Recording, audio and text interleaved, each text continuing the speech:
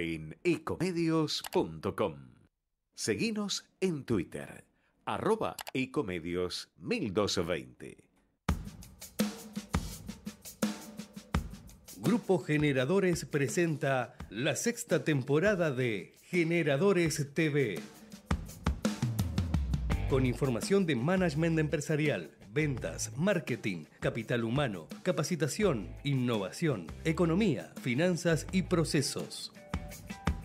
Dos horas de contenidos para que te lleves tips, consejos, reflexiones y herramientas que te ayuden a pensar y tomar decisiones en tu empresa.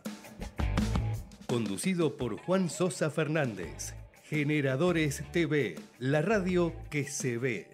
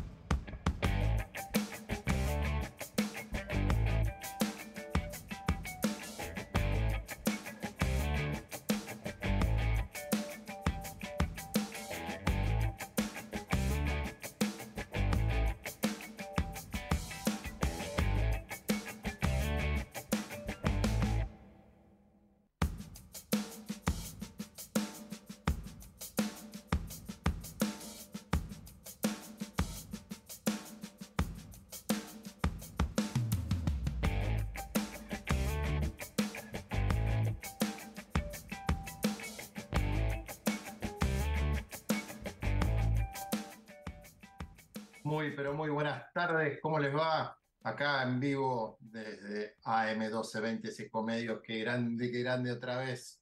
Juntos, Generadores TV. Siempre que venimos de, jornadas largas, eh, eh, extrañamos, extrañamos nuestro programa.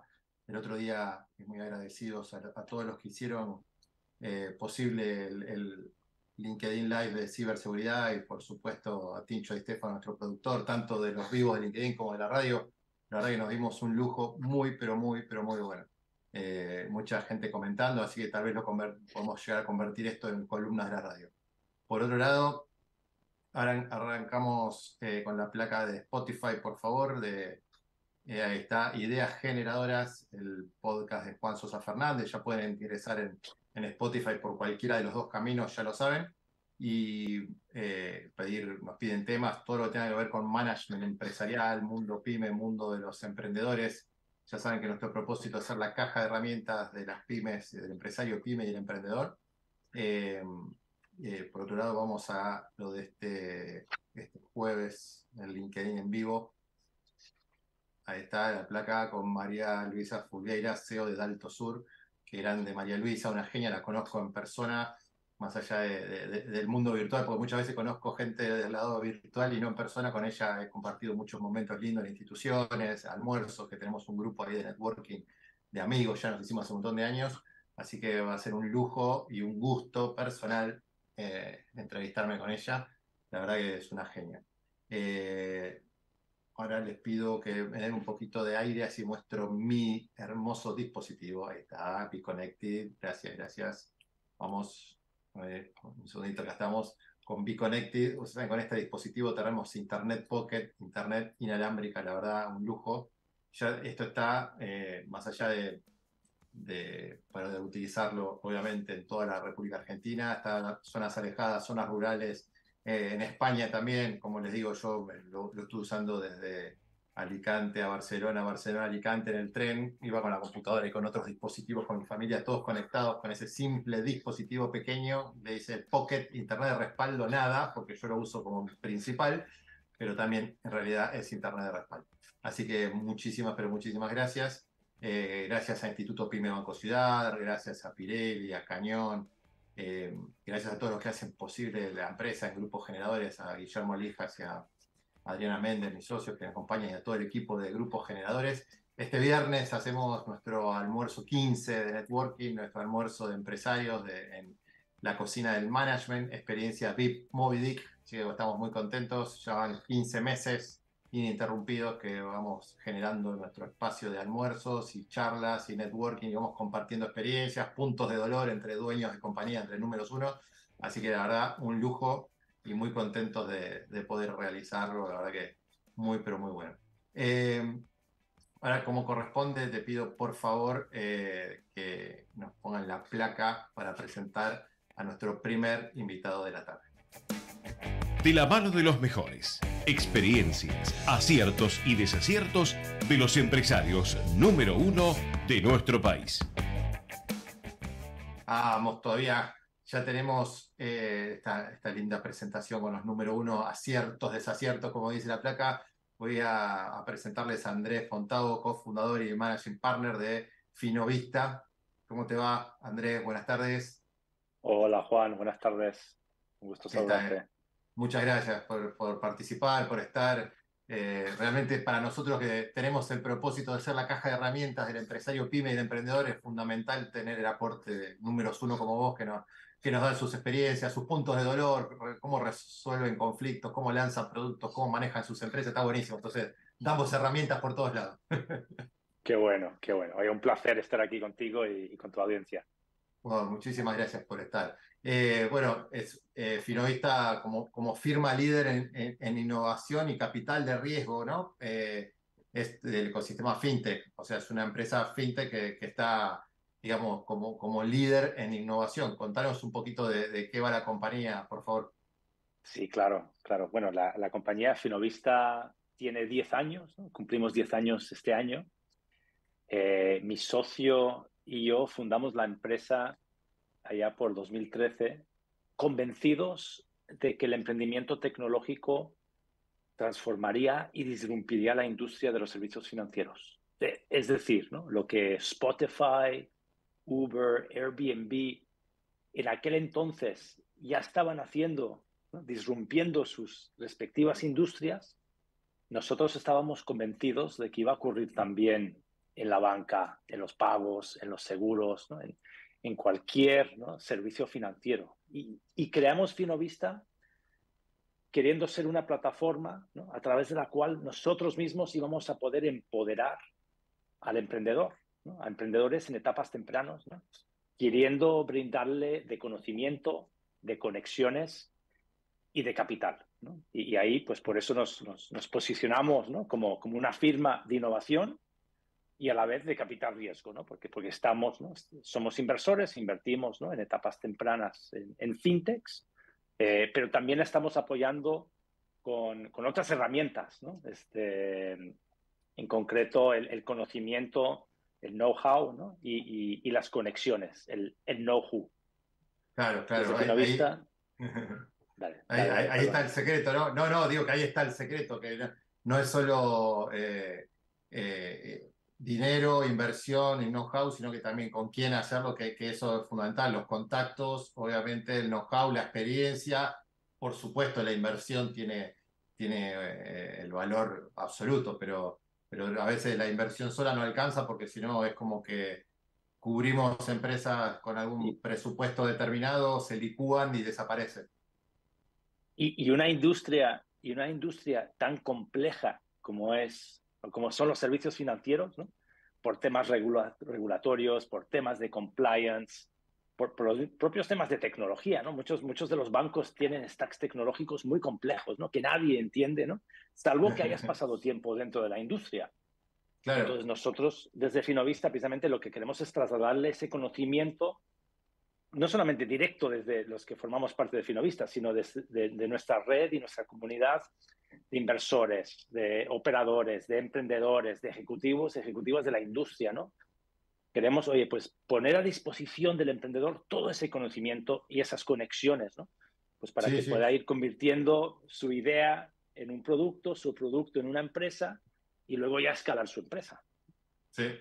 A mí me tocó, nosotros en la, el programa se llama Generadores TV porque tenemos una empresa que se llama Grupos Generadores y nos dedicamos al desarrollo e implementación de procesos comerciales eh, para hacer modelos de negocio replicables, escalables, obviamente más rentables, pero mediante procesos, no con consultoría de horas y ir co-creando, no, tenemos producto, analizamos obviamente cada, cada caso en particular y nos hemos topado con muchos emprendedores, con muchos startups, con mucho Endeavor, con mucho Guaira, con mucho, bueno, y, empresas de, de, de, fintech también y, y vas viendo los diferentes modelos cuando no tienen justamente el, el know-how y el, know-who, como bien decías, y que me gustó mucho lo, como lo dijiste, porque hay empresas que sí, pueden levantar rondas de inversión, los pueden inflar, los pueden apalancar, los pueden ayudar o, asignarle a algún consultor por ahí, pero después eh, terminan creciendo y terminan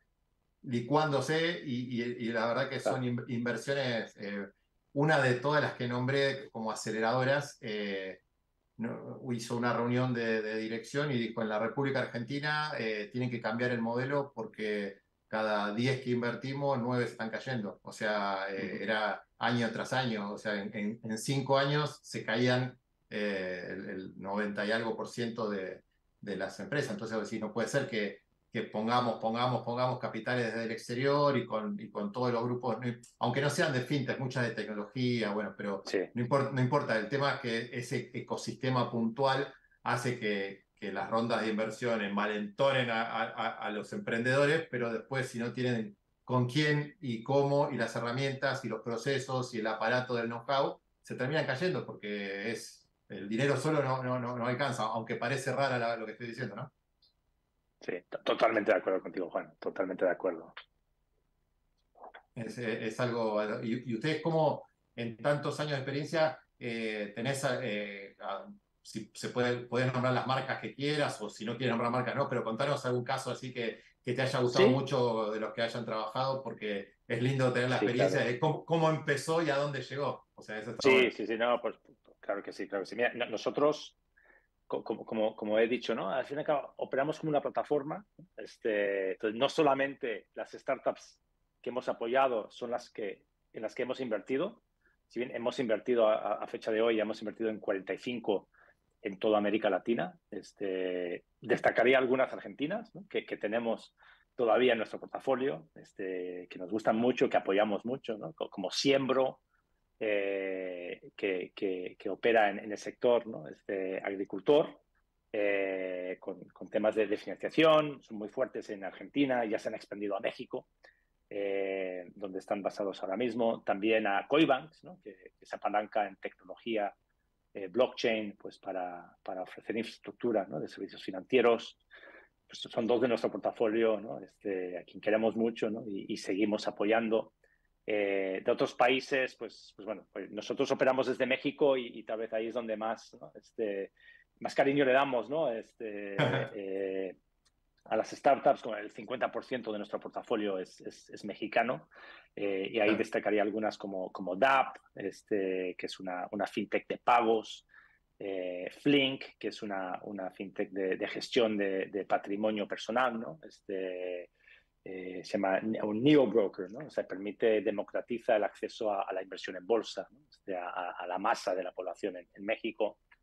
Eh, también destaca, destacaría algunas de infraestructura, como, como Finerio, que opera en el espacio de, Open Banking, eh, Prometeo, que son de Uruguay, también operando en el espacio de, Open Banking. Ah, vamos, son muchas, ¿no? O sea, no quisiera este, ponerme a listar todas ahora, este, ni, tampoco, oye, olvidarme de alguna, porque luego me llaman, oye, ¿por qué no mencionaste la no, no, no. Nosotros queremos, A queremos a todas igual, ¿no? Y las tratamos igual, y las estamos empujando, ¿no? Pues para que tengan todo el éxito que, que, puedan tener en los mercados, en el mercado o mercados que, que, estén operando. Sí, pero la verdad que es, es, es apasionante y cómo, cómo crece. A mí me tocó, por ejemplo, nosotros que hacemos vivos en LinkedIn también eh, los jueves. Tenemos, eh, hace cinco años que tenemos dos programas.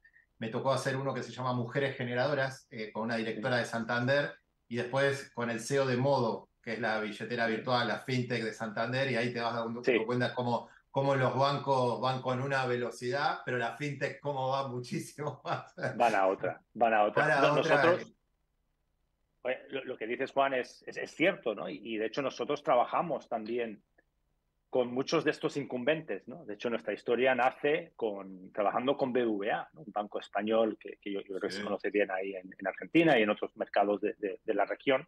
Por eh, también hemos trabajado con Santander, trabajamos mucho con, con Visa, ¿no? O por ejemplo, de hecho, con ellos hemos, acabamos de, de, publicar el informe, La edición del informe Finovista FinTech para Argentina. Exacto, exacto.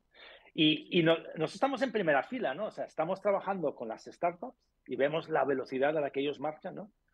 Y trabajamos también con los incumbentes y, vemos la lentitud a la que se mueven, ¿no? Claro, claro, Muchas veces son dinosaurios, ¿no? Este, sí. Eh, tardan mucho, son organizaciones muy grandes, muy complejas. La toma de decisión, ¿no? Este, pues, pues suele ralentizarse por, por procesos este, que, que, ellos tienen de forma interna, por, por, falta de gobernanza a lo mejor a la hora de, de tratar con fintechs. ¿no?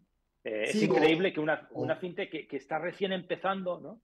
que tiene en sí recursos limitados, grandes ideas, grande conocimiento, pero recursos limitados, ¿no?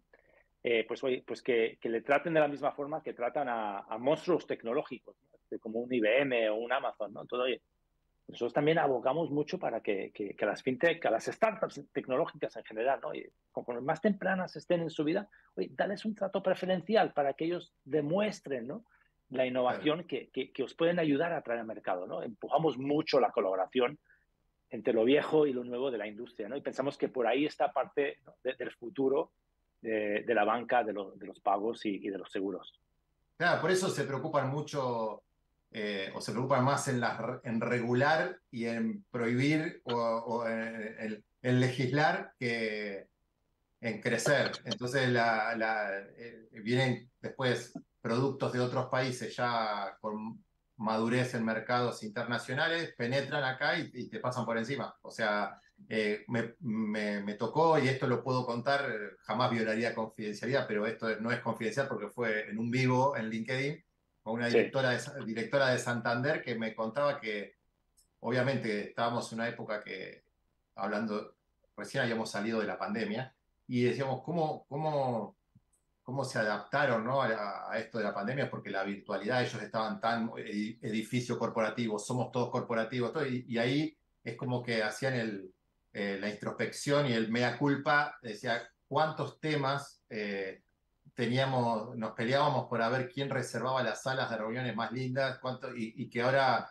nos dimos cuenta que la mayoría de esos temas los solucionábamos con cinco WhatsApp. O sea, y antes era el desayuno de, por el tema determinado y que tienen que estar en la lista y llegar todos a tiempo y a ver quién reservó primero la sala y reservar el schedule y, y, peleas internas por la reserva de una sala. Y ahora se dieron cuenta que esos mismos temas eran cinco, cinco WhatsApp. Eh, che, esto, Blue Blue, está, en jogging porque estaban en la casa y se, solucionaban lo que antes les llevaba tal vez una semana. Eh, entonces, eh, que se daban cuenta, eh, lo de dinosaurios, como, hablábamos anteriormente, que, pero bueno, es un tema de, la, de la mente corporativa, de, y que a veces, no sé si no, es, no hay gobernanza o es exceso de gobernanza, porque en lugar de la Agile, viste, de meter metodologías ágiles o, o procesos para productivizar y, hacer más eficiente las cosas, eh, en realidad eh, se quedan con, con, con, no sé, con engranajes eh, sin aceite. Así es, así es. La, verdad, bueno, has tocado un buen punto, Juan, ¿no? Ahí el tema de la pandemia, ¿no? La pandemia agarró a los incumbentes en un estado de shock, ¿no? Y, tuvieron que ir a la, a la defensiva para, para, salvar su negocio, ¿no? Mientras que los, las fintech, ¿no? Este, los Walla, los Nubank de este mundo, ¿no? Que nacieron 100% digital, ¿no? No se tuvieron que preocupar, ¿no? De, cómo atender a sus clientes de forma digital, porque habían nacido así, ¿no? Ellos ya tenían activados, ¿no? Y acostumbrados a sus clientes, ¿no? A estar interactuando con ellos de una forma 100% digital, ¿no? Mientras que los incumbentes, ¿no? estaban peleándose, pensando, oye, ¿y qué hago, no? ¿Y cómo atiendo a mi cliente si no es en la sucursal, no? Eh, y esto lo vimos, ¿no? Y, desafortunadamente para los incumbentes fueron dos años, ¿no? Oye, pues de, una estrategia muy defensiva, de, salvar su negocio y de no poder innovar, ¿no? Este, y claro, salieron de la pandemia, ¿no? Ahora ya es lo bueno, ¿no? Salieron de la pandemia mm. convencidos de que tenían que estar preparados y listos para la próxima. ojalá no nos toque a, ninguno, ¿no? No, no, no. tienen que estar preparados, ¿no? Y lo que sí hemos estado viendo es hoy una, una más fuerte inversión, ¿no? En la digitalización de esos negocios tradicionales. ¿no? Y lo que también hemos visto, tal vez no tanto en Argentina todavía, ¿no? pero sí en otros mercados en la región, mayor apetito de colaboración. Lo hemos visto primero de los incumbentes, vale, yo ya no, no puedo competir, voy a aprender y voy a colaborar con estas fintechs para ver cómo ellos pueden ayudarme a mí a transformar y a digitalizar mi negocio, ¿no? Pero luego también lo hemos visto por parte de las fintech, ¿no? A falta de capital, hubo abundancia de capital en 2020, en 2021 y de repente, oye, todos sabemos que el grifo ¿no? de, del capital riesgo se ha ido cerrando poco a poco en los últimos dos años. ¿no? Entonces, a falta de capital, también las fintech lo que han estado haciendo es yendo a tocarle la puerta a los incumbentes. ¿no? Y, y, oye, yo puedo ofrecer ¿no? conocimiento de tecnología, mis procesos ágiles, mi innovación, etcétera, etcétera. ¿no? Y, y, los bancos tienen otras cosas que pueden ofrecer, ¿no? Y estamos viendo un apetito de colaboración mucho más fuerte hoy en día en la industria, en el sector fintech, ¿no? de lo que veíamos en, en una etapa prepandemia. Cada una de las dos partes poniendo en valor ¿no? determinados activos que ellos mismos reconocen que tienen. Sabes que eh, estoy absolutamente de acuerdo y eh, tuve, bueno, tuve la, suerte de un día en, en, un evento importante armar un panel que era, esto fue antes de la pandemia, en la usina del arte, con la institución IDEA, conoces IDEA, Instituto del Desarrollo Empresarial Argentino, eh, me tocaba liderar una, una, red de profesionales, todo entonces para un evento en la usina del arte, la semana del management, ahí no me, no me acordaba, la semana del management, eh, armé un panel, yo estaba manejando la red de profesionales de marketing y ventas.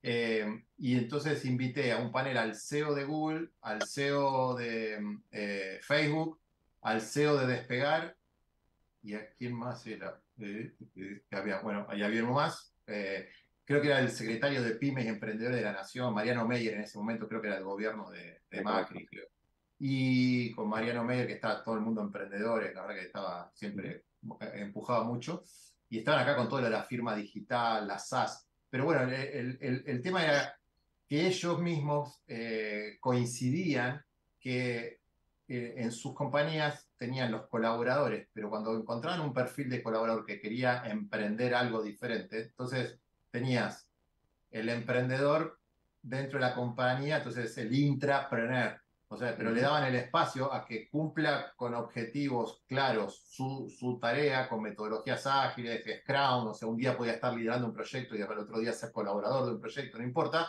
pero también tener su espacio dentro de la compañía para desarrollar, innovar y, y, emprender algo diferente, algo disruptivo, pero dentro del marco de la compañía, porque dice que si tengo un talento acá adentro, lo voy a aprovechar, pero digo, ese tipo de mentalidad eh, de, los, de estos CEOs, pero aparte, bueno, estamos hablando de, de, Facebook que está en Argentina, de Google de Argentina, Despegar, o sea, estos tipos de, de mentalidad eran, eh, bueno, el de Facebook era de Brasil, pero el, de Google era argentino, el de Despegar es argentino, Mariano Meyer era, argentino, entonces digo, bueno, toda esta gente también de Argentina, entonces también debe ser un, tema de mentalidad y, y de y de colaboradores, porque bueno, son empleados, los CEOs, estos son también empleados, no son dueños de las compañías. Entonces digo, pero también es un tema de, de, formación, mentalidad, de, o, o, no sé qué, o un gen determinado, porque ¿por qué en ese tipo de empresas eh, pueden ser más disruptivos y acompañar crecimiento, acompañar innovación? Y vos vas a, no sé, como hablábamos antes, un, banco que lo que hace es trabar, poner más pesada la estructura, más lenta, eh, eje trabar procesos, molestar, ya molestan directamente. Y, en lugar de, darle lugar al desarrollo de eh, intra eh, empresa, digamos, para que, para que haya más intrapreneurs, ¿no? O sea, no, no, no, hay, hay lugares que directamente no existe ese término. Claro, claro, Y aquí en la industria lo, lo vemos, ¿no? Si bien hay otros que destacan precisamente por, por ser más visionarios, ¿no? Eh, sin nombrar nombres, ¿no? Algunos de los bancos con los que nosotros trabajamos, hoy en día, por ejemplo, ya no tienen ni siquiera centros de innovación. ¿Por qué? Porque la innovación se ha inculcado tanto en la cultura, ¿no? que no necesitan un solo espacio o un solo equipo, sino que la innovación está disuelta por toda la organización. ¿no? Obviamente no, no, no es el caso de todas, pero es alguna. ¿no? oye, la esperanza es que poco a poco todos vayan tomando, cogiendo esas estrategias. ¿no? pero son, son organizaciones que también, oye, pues ya desde hace años están invirtiendo en fintechs, están comprando fintechs, están eh, construyendo sus propios ventures, ¿no? Atrayendo talento de puertas hacia adentro, ¿no? Pero todo proviene precisamente de, ese cambio ¿no? de, mindset, ¿no? Este, y son cambios culturales que tienen que vivir las empresas, ¿no? Este, y, tienen que aprender ¿no? a, sobrevivir ¿no? Y, ir ¿no? construyendo su futuro ¿no? en base no solamente a los cambios que están viviendo de puertas hacia afuera, sino también de, puertas hacia adentro. Muy bueno. Contar un poquito cómo, cómo es esto de la, bueno, de esta cuarta edición del informe que hicieron con Visa, porque tiene varias escalas ¿no? de, de, valor y, y, varios resultados. Entonces, pues estuve, estuve leyendo lo, de, lo del wealth management y, cómo, cómo es el, en el ecosistema argentino, cómo, cómo se va afianzando. Entonces digo, está, está buenísimo, pero bueno, ya es la cuarta edición de algo que, claro. que, llegó para quedarse, ¿no? En, ustedes. Sí, sí, sí. Eh, el, la pieza, ¿no? O la publicación se llama Finovista FinTech Radar, ¿no? Este, es una pieza para que los, los oyentes entiendan, ¿no? Pues es una pieza que, que nosotros publicamos a nivel país, ¿no? de forma recurrente. Intentamos que se haga cada año o, como mucho cada dos años. ¿no? Este, y en el Finovista FinTech Radar, que lo hacemos para los principales mercados en América Latina, ¿no? Eh, México, Colombia, Chile, eh, Argentina, y de hecho la semana que viene voy a estar en Lima, en Perú, eh, presentando el de, el, de Perú.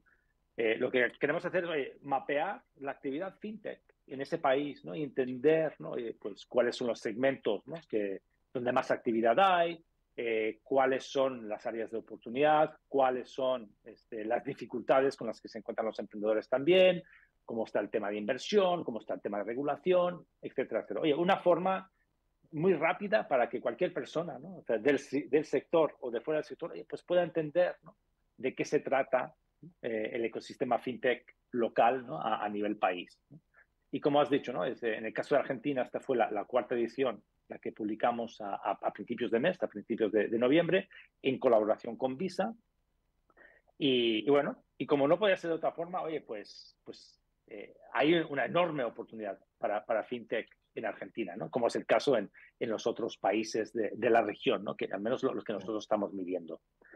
Hay mucho, eh, mucho proyecto, por lo que leí de lo que habían enviado ustedes, que había mucho proyecto cripto que habían crecido de, de 28 empresas a 51 en dos años. O sea, eh, eh, definitivamente Argentina a nivel regional, Argentina destaca, yo, diría por dos cosas, en, en, fintech, ¿no? la inflación, la inflación. bueno, obviamente destaca por la inflación, pero, pero creo que precisamente por la inflación es la razón por la cual destaca en cripto y en wealth management, ¿no? Porque al final nace de una necesidad, ¿no? Y eso es lo que los emprendedores, en cualquier rama, en cualquier sector, los emprendedores son buenos, ¿no? Para resolver problemas, ¿no? Y el problema de la inflación en Argentina conlleva, ¿no? Oye, pues que haya más fintechs de wealth management, personas buscando formas, ¿no? De poder, de poder salvaguardar su patrimonio, ¿no? sea mucho, sea poco, pero necesita soluciones digitales para poder salvaguardar. Ya no se fía de los bancos, ya no se fía ¿no? de los actores tradicionales. ¿no? Entonces busco nuevos actores que me ayuden ¿no? a salvaguardar mi patrimonio. ¿no? Ahí va, por ahí va el wealth management. ¿no? Y el tema sí, pues también, con, con, con, una inflación tan alta, ¿no? una moneda tan débil, ¿no? Oye, pues, pues tengo que buscar, ¿no? Diferentes formas ¿no? de, de, poder dolarizar ¿no? este, mis transacciones y mis ahorros. ¿no? y el cripto lo que está haciendo es resolviendo ese problema también, ¿no? Entonces, la verdad, no nos sorprende, ¿no? Que, que justo estos dos segmentos sean dos segmentos donde, donde Argentina destaca, ¿no? Este, a nivel regional, incluso me atrevería a decir a nivel global. ¿Cómo, cómo justamente, eh, más, allá que no, que no tiene nada que ver con, no con tu mundo, sino con tu empresa, creo, pero ahora vos me vas a aclarar, eh, cómo esto impacta en, los movimientos, por ejemplo, lo que me está diciendo el resguardo, eh, la apuesta a, temas digitales para cuidarse de la inversión, cuidar la inversión, cuidar un dólar, eh, ya sea transformado en USDT, en cripto, en lo que sea, pero en, el ecosistema Binance, por ejemplo, como, como ahora tembló por el tema del SEO que, que, se fue, entonces digo, pues todas esas cosas también son eh, movimientos de placas tectónicas que, hacen un terremoto porque eh, puede generar o una corrida dentro de la misma herramienta o ese ecosistema como Binance, pero es todo el mundo digital. Y hay mucha gente confiando. Parece que no, que no, que no impactó tanto, como que hubo una pequeña movida, pero al final eh, lo corrieron al CEO, ya está, pero como que Binance sigue bien porque está muy bien apalancada, o sea que parece que es seria, pero yo la verdad ya ya se me escapa, no, tal vez vos tenés más info o, o no, pero... Sí, no, no, no tengo mucha más info, ¿no? O sea, no tengo ningún insider information, ¿no? Que, que pueda compartir. Pero mira, yo hace un año estábamos hablando de lo mismo sobre FTX, ¿no? Eh, el sector se ha, ha, sobrevivido, ¿no? Se ha recuperado, se ha hecho más fuerte, ¿no? Creo que con, con, Binance, pues va a pasar lo mismo, ¿no? O sea, eh, siempre en cualquier sector ¿no? nos vamos a encontrar eh, con, con, algunos actores que debilitan ¿no? el, el, propio sector, ¿no? que le pueden hacer daño. ¿no? Pero hay que entender que el ecosistema es mucho más que un solo actor. ¿no? Y creo que justo ¿no? eso es lo que le hace que sea fuerte también. ¿no? Creo que en un año vamos a estar, nos vamos a haber olvidado de Binance y vamos a estar hablando, pues a lo mejor de otro caso, ¿no? Pero, pero, de nuevo, ¿no? Oye, el ecosistema tiene que verse como mucho más que, que una sola acción, un solo actor, ¿no? Y realmente pensar ¿no? que es algo más fuerte. Lo bueno que vemos en Argentina, con la labor de la Cámara FinTech Argentina, eh, y lo vemos también en, en, los otros países de la región con sus equivalentes, ¿no? Oye, pues que hay un gremio muy fuerte, ¿no? Que lo que está buscando es, oye, fortalecer sus lazos, ¿no? trabajar juntos ¿no? por el bien de todos, ¿no? en este caso por el bien de todas las fintech. ¿no? Y eso al fin y al cabo también repercute en el consumidor, en el usuario. ¿no? Entonces, oye, pues deben sentirse también cómodos de, que hay ahí, ¿no? Oye, una, una entidad, ¿no? Público-privada, ¿no? Que, que, lo que está haciendo es, oye, pues buscando formas de fortalecer de cara a la empresa, de cara al usuario, incluso de cara al regulador, ¿no?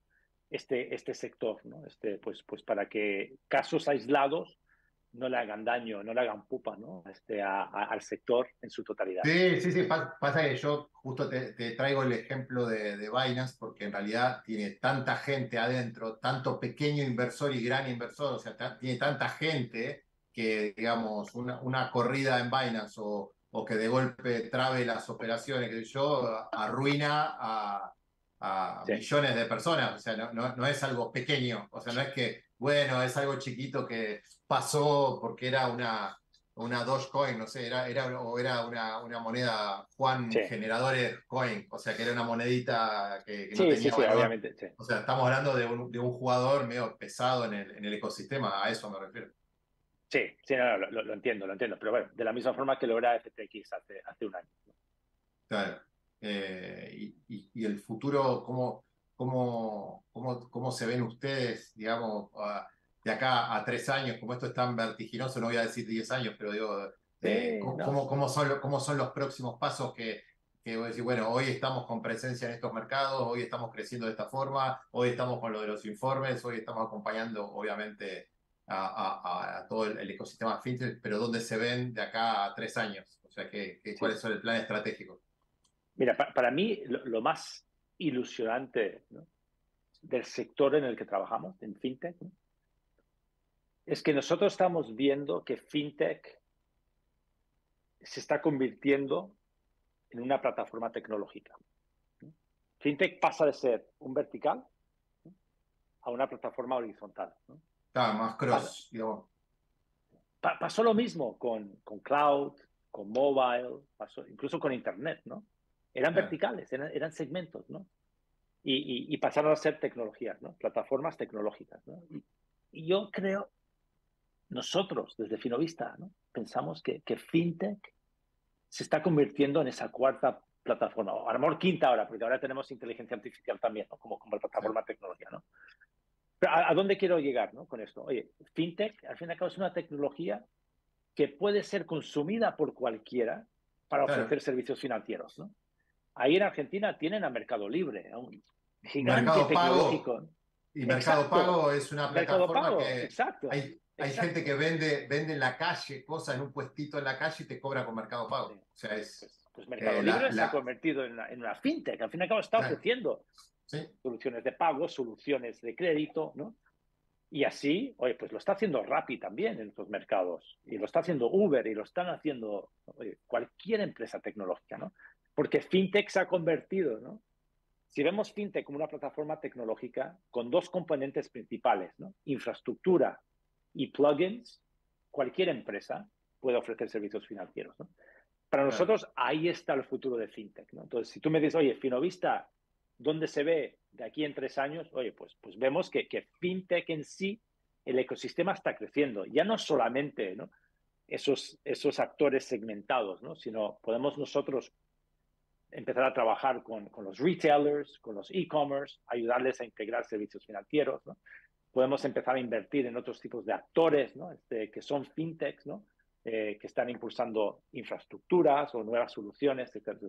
El ecosistema en sí está creciendo, ¿no? Este, y está tocando ya industrias adyacentes, ¿no? Y nosotros queremos estar ahí al frente, ¿no? No solamente trabajando con bancos, invirtiendo en fintechs tradicionales, ¿no? De, con soluciones directas al consumidor, ¿no?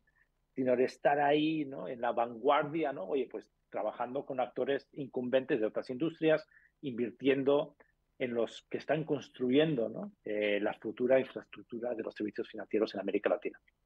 Totalmente. Qué bueno, qué bueno. ¿Cómo, tienen eh, eh, estructurado la fuerza comercial al ser algo de B2B, algo muy de venta consultiva? ¿Cómo, cómo lo trabajan? ¿Vos, eh, dónde te encuentras? Eh, ¿Desde Argentina? ¿Trabajas desde México? ¿Dónde estás trabajando? Sí, yo, yo, trabajo desde Estados Unidos. Yo estoy basado en Nueva York, en las afueras de Nueva York. Nuestro equipo está todo, todo el equipo está en México. Ahí, ahí tenemos nuestra, digamos, ahí está nuestra sede operativa, ¿no? Ahí está todo el equipo. Y nosotros, como dices, oye, tenemos diferentes tipos de ventas, ¿no? Este, nosotros tenemos tres líneas de negocio, tal, vez lo tenía que haber dicho al principio, pero, pero tenemos tres líneas de negocio, ¿no? básicamente estructurada con ese concepto de know-how, know-who y, capital, ¿no? Pero tenemos un, un, equipo que lo que hace es que organiza la mayor conferencia fintech en América Latina, se llama Fino Summit. ¿no? Entonces, ellos tienen su propio equipo comercial que lo que hace es que vende patrocinios y vende entradas para eventos. ¿no? la, venta de entradas a eventos es, una venta muy digital, muy de marketing eh, y muy de comunidad. Eh, y la venta de patrocinios es una, venta muy relacional, con una propuesta de valor bastante, bastante clara y directa de, posicionamiento eh, en el propio ecosistema. La venta, la segunda pieza es lo que llamamos innovación corporativa, y ahí sí es una venta más consultiva, este, donde tenemos que estar acompañando a nuestros, eh, a nuestros clientes, ¿no? Este, entendiendo bien los dolores que quieren resolver, para luego, oye, pues ofrecerles soluciones este, mediante la colaboración con fintechs, lo que nosotros sabemos hacer. Y luego el fondo eso es otro tipo de venta, ¿no? O sea, por un lado tenemos que vender a inversionistas, es decir, oye, LPs, ¿no? Que quieran invertir en nuestro fondo. Eso es una venta muy relacional, ¿no? Y hay que construir relaciones. No se vende de un día para otro. Ahí tienes que estar años y años, ¿no? Desarrollando una relación de confianza para que un inversor institucional, oye, pues te, acabe poniendo 3 o 5 millones de dólares en, en tu fondo, ¿no? Pero luego está lo que para mí es la parte más divertida, es vendiéndole a las fintech. Oye, permíteme que yo invierta en tu fintech. Para mí eso es una venta, ¿no? Y lo que tengo que hacer es, oye, construir no solamente una relación de confianza, sino demostrarle a la fintech que yo soy el mejor inversor para él en los momentos en el que se encuentra. ¿no? Nuestra especialidad es etapa temprana y lo que ponemos ahí ¿no? es mostrarle nuestras capacidades ¿no? de, poder traerle no solamente el capital, sino ese know-how y know-who ¿no? dentro de fintech que le va a ayudar, oye, pues pasar de un cliente a 100 o de 100 clientes a, a, 1000, ¿no? Claro. Son, son, formas de ventas muy distintas, pero, bueno, cada una de ellas muy, muy divertida.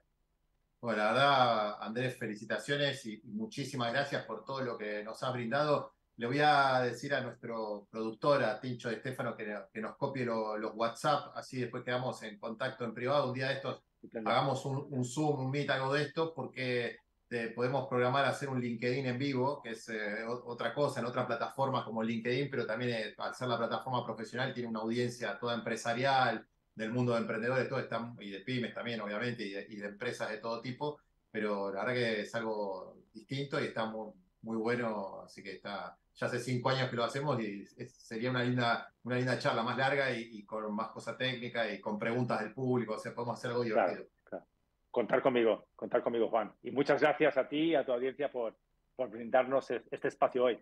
No, por favor, por favor, un gusto, un placer y la verdad un lujo tenerte y gracias por todo lo que nos has dado. Así que ya después le decía a Martín y quedamos en contacto en privado. Muchísimas gracias. Por supuesto. Un abrazo, cuídate.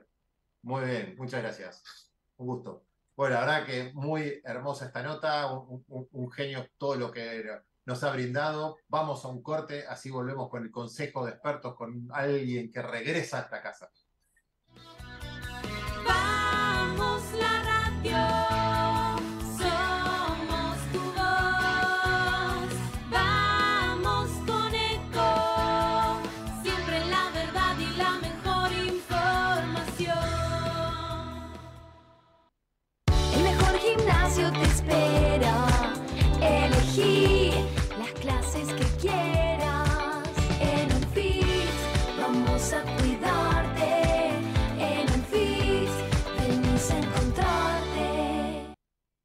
Prevenir dengue, zika y chikungunya.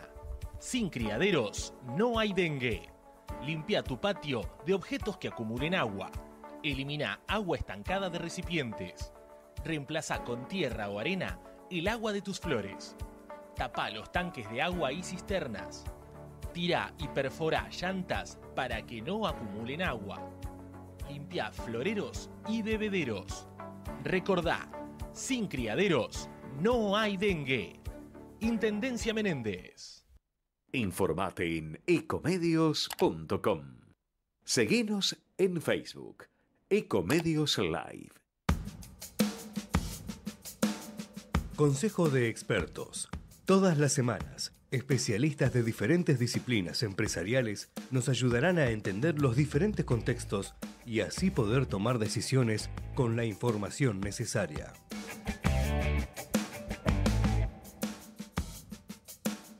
Consejo de expertos, con un experto que regresa a la casa después de estar de viaje por Europa, por Grecia y por lindos lugares. ¿Cómo va Diego Núñez?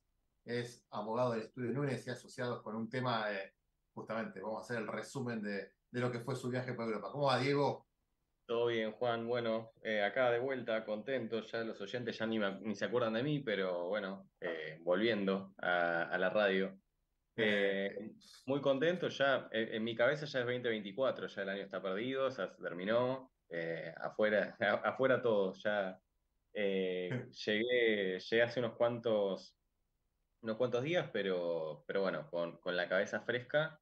Y bueno, justamente eh, después de, de una gira de trabajo, básicamente, en donde fui a representar al estudio, al- a la Conferencia Mundial de Aliot, de nuestra Alianza Internacional, eh, en donde, bueno, por suerte me tocó eh, dos cosas eh, de, lo que voy a comentar como más relevante, más allá que fueron cuatro días en donde intercambiamos con 160 colegas de, de 50 países y unos 100 estudios entre abogados y contadores, experiencias, mejores prácticas, generamos vínculos, llevamos carpetas comerciales de nuestros clientes, recibimos alguna de alguno que le interesaba eh, que, asesoremos a sus clientes acá en Argentina y demás.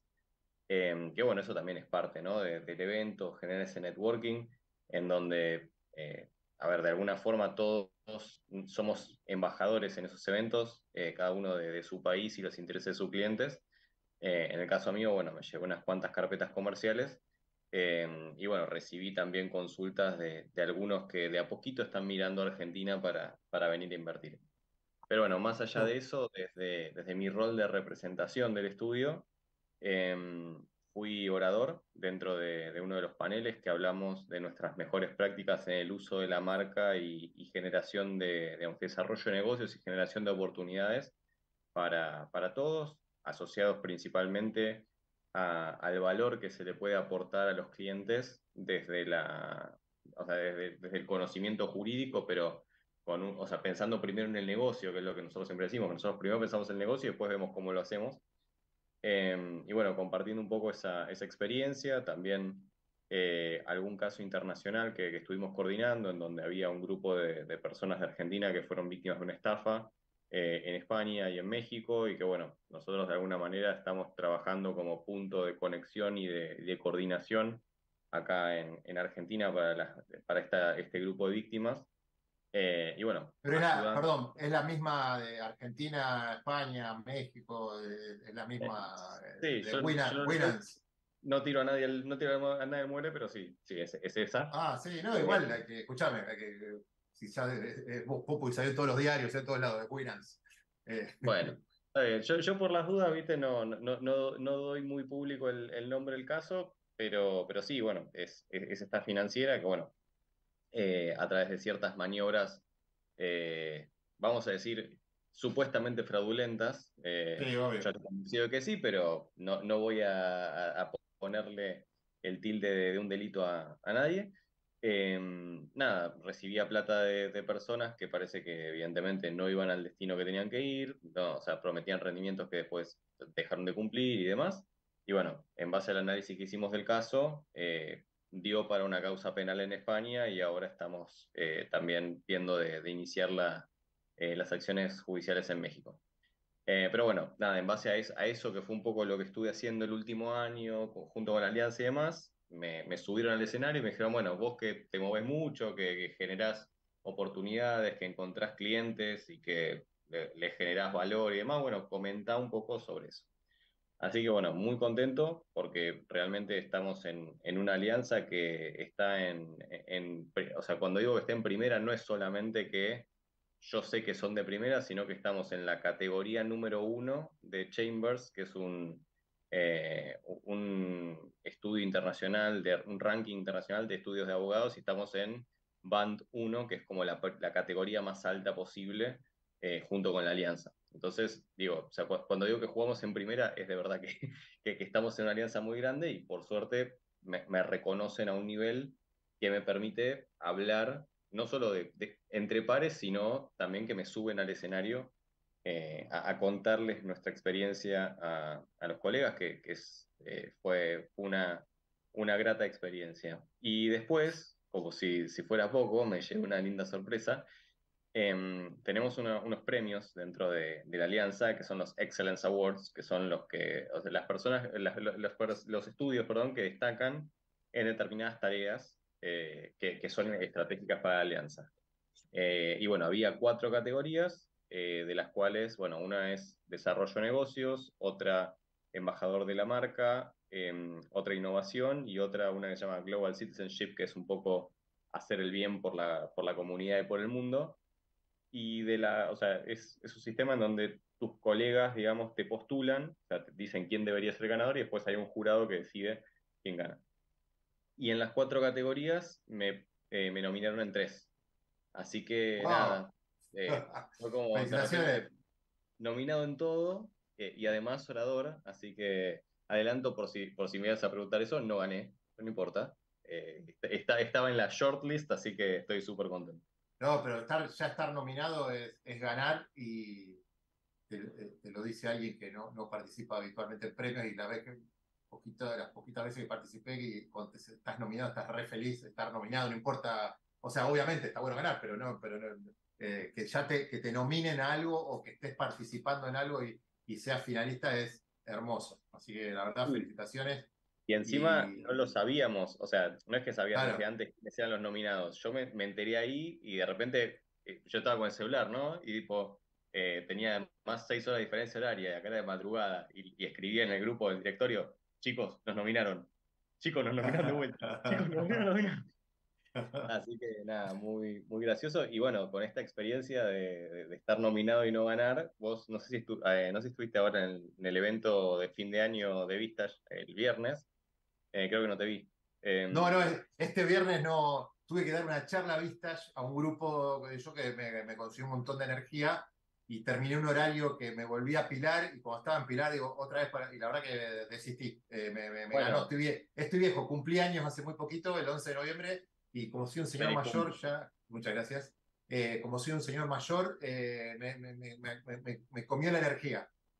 Bueno, te perdiste el Rocky versus Apolo de nuestros tiempos. Porque fuimos por, fuimos por saco verde, mi hermano y yo, mano a mano. No. Oh, oh, oh, qué bueno. Y perdí, pero me ganó mi hermano. Así que se llevó el, el miembro, el ejecutivo destacado del año de, de toda la organización, se lo llevó mi hermano, así que quedó en casa el premio. Así Sí, que muy también, súper, súper contento con eso.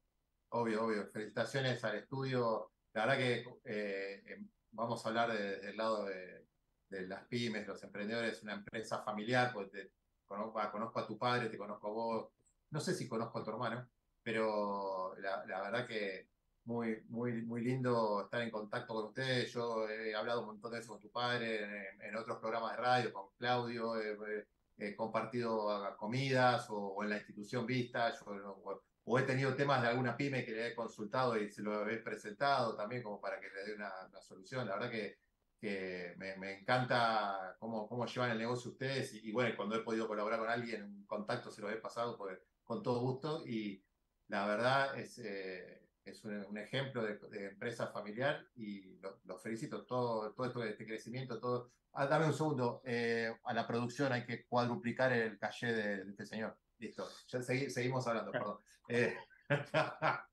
no, no, la verdad que fuera de chiste, Diego no nos cobra nada, por favor. Eh, eh, es, un genio y su colaboración adorable, como todos los columnistas que, están acá, ah, colaboran con esta pyme que es Generadores. Eh, che, la verdad, es un, lujo y felicitaciones.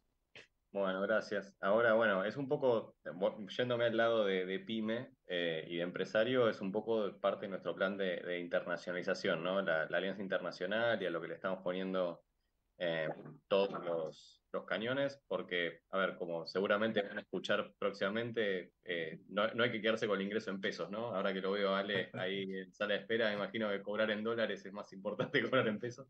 Así que es un poco el camino que, que estamos buscando nosotros. creo que no es de ahora, creo que eso es importante hace bastante, pero no importa, eso lo dejamos para los que saben. Pero digo, yo- Bueno, lo, yo- es lo, ve- lo venimos buscando hace rato y, y estamos, Claro, claro. creemos que estamos más cerca. Ay, ay, ay. Eh, yo, te- como te decía, que cumplí años eh, el 11 de noviembre, como ahora que, yo, ahora que soy un señor grande, ya soy adolescente, dejé de ser niño, ya estoy en la adolescencia con mis 52 años, entonces digo, bueno, ahora también estoy pensando en a ver si puedo cobrar en dólares o en euros, en algo de eso, pero eh, eh, eso es un tema de la niñez y la adolescencia. pero hace- creo que hace rato es importante cobrar en otra moneda, moneda dura. Pero bueno, eh, Diego, la verdad, eh, un- un gusto, un lujo, realmente eh, recuerdo que íbamos a, a tener, a darle una mano a los chicos de, que me habías dicho, "Che, hay que darle difusión a los chicos de café, eh, hagamos, juntarlos nuevamente y, hacemos más notas con ellos para darle difusión. No me olvido, me habías dicho una vez, me pediste, y yo dije, dale, dale el espacio y lo que haga falta, eh, no me acuerdo cómo era la marca, pero me acuerdo que era con café. Así que lo que Ya, necesiten, ca- Café de barrio que están trabajando en alianza con nosotros con plato lleno, pero Café- eso ese, café de barrio. en, en, en otra, en otra En reunión. otra- totalmente. Pero la verdad, mandarle saludos a, a- a tu padre, a tu hermano y felicitaciones por todos los logros.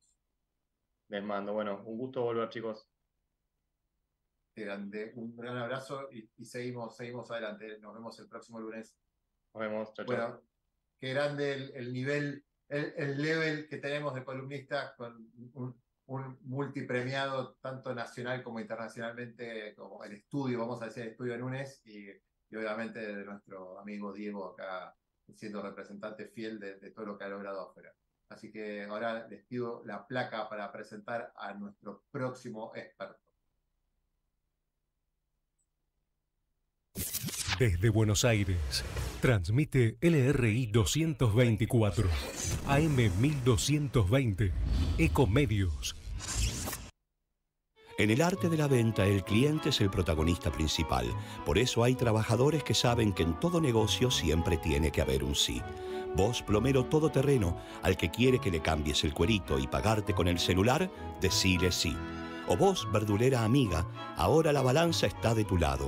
Y para el que quiere pagarte los rabanitos con QR, claro que tenés un sí. Más Pagos Nación, tu solución de cobros sin costo de mantenimiento para hacértela mucho más fácil. BNA. La clave fiscal te permite realizar trámites y utilizar servicios de la AFIP y otros organismos. Obtenela o recuperala desde la app AFIP. Solo necesitas tu DNI en formato tarjeta y ser mayor de edad. Recordá que es personal, privada e intransferible. Más info en afip.gov.ar barra clave fiscal. AFIP, Argentina Presidencia. Informate en ecomedios.com. Seguinos en Instagram, arroba ecomedios. Consejo de expertos. Todas las semanas, especialistas de diferentes disciplinas empresariales nos ayudarán a entender los diferentes contextos y así poder tomar decisiones con la información necesaria.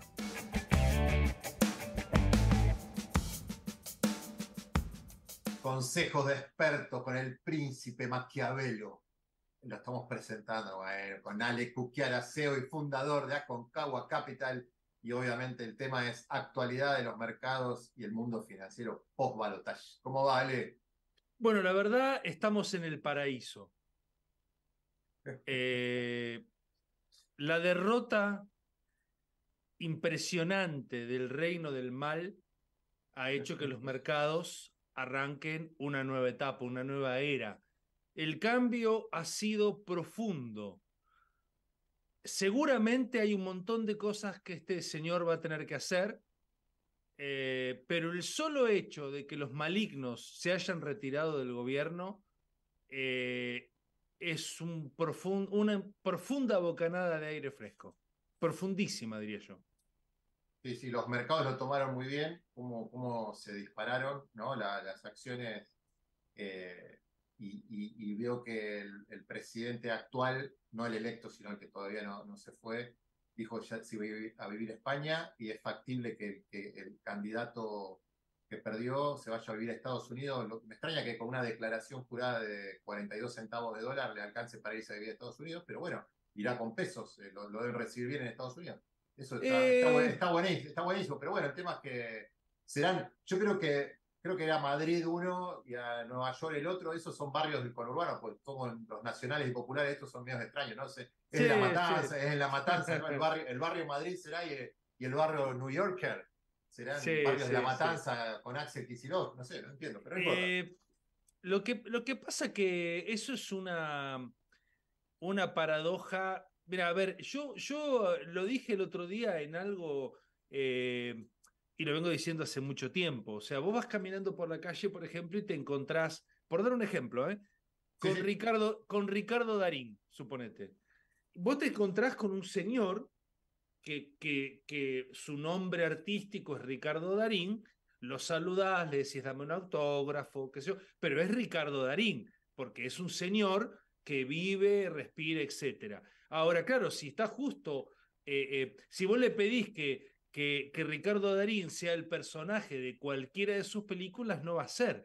No va a ser ni el del cuento chino, ni el de Nueve Reinas, ni ninguno de esos. Es Ricardo Darín la persona. Bueno, estos asquerosos que se fueron del gobierno, es exactamente lo mismo. Ellos, al recibir un caché, al recibir un dinero, son capaces de hacer y decir cualquier cosa. Entonces, no, a mí no me extraña que personajes eh, les ocurra eso. Yo creo que lo importante es que tenemos que concentrarnos en que Argentina eh, tiene la posibilidad de renacer.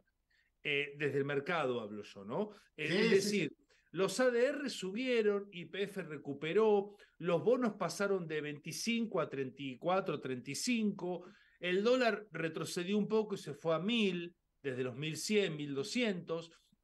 Es decir, hay una enorme posibilidad porque el mercado lo que está festejando es que cambió el timón, cambiaron eh, las posibilidades. Ahora, obviamente hay un montón, eh, yo, yo no creo que el mercado le esté diciendo a nadie que tiene un cheque en blanco ni que nada por el estilo, pero sí lo que hay es una nueva oportunidad, hay una nueva posibilidad. Seguramente que, que los próximos meses y uno o dos años vamos a seguir teniendo inflación alta y toda la mano.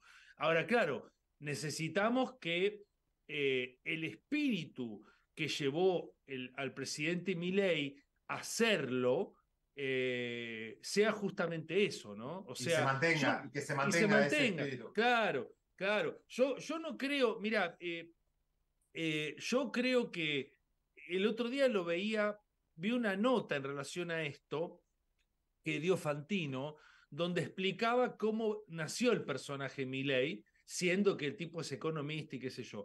Pero yo creo que lo importante es eso, hay que mirar el mercado, o sea, los bonos con posibilidad de rango entre el valor de, digamos, de 30 a 35 o, a 30, y- o, a- o entre 30 y 40, la bolsa argentina recuperando en valores de dólares de los actuales 950, 960 en el sentido, lo que hay que hacer ahí es Merval dividido el contado con liqui, ¿no? Pudiendo llegar a 1300, 1400, pero yo creo que desde el punto de vista real, eh, o sea, en realidad el mercado no subió conceptualmente. Lo que pasó fue que el mercado lo que hizo fue recuperar la normalidad.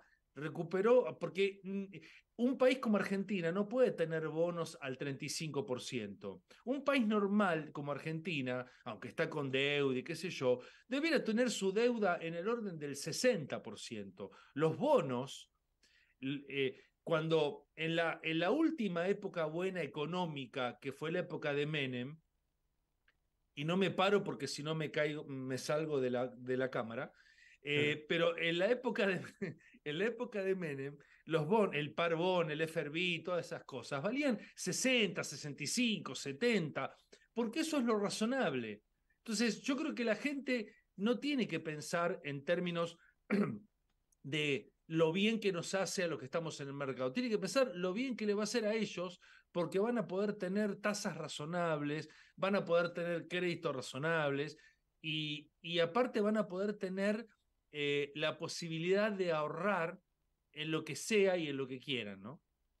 Claro, claro, eso es fundamental, eh, tener la libertad de ahorrar y de sentirte que podés manejar algo que vos quieras. Así es, así es. Cosa que, que- que hace mucho no sucede. Eh, el- justamente tuvimos, sabes que tuvimos antes una nota de- del mundo fintech y la- la- el primer invitado de la, del día. Y le hice una consulta sobre Binance, porque estábamos hablando de la participación en el mundo cripto de, Argentina, que dentro de lo que es Latinoamérica es uno de los que más adopción ha tenido, es uno de los países con, mayor adopción, y hay dentro de Binance hay como una, como una, una gran cantidad de, inversores argentinos, más allá de internacionales. E, este, este movimiento que vos, eh, que se vio lo del tema del SEO con esta supuesta estafa y que lo sacaron, lo corrieron, que hubo un pequeño cimbronazo, pero después quedó ahí.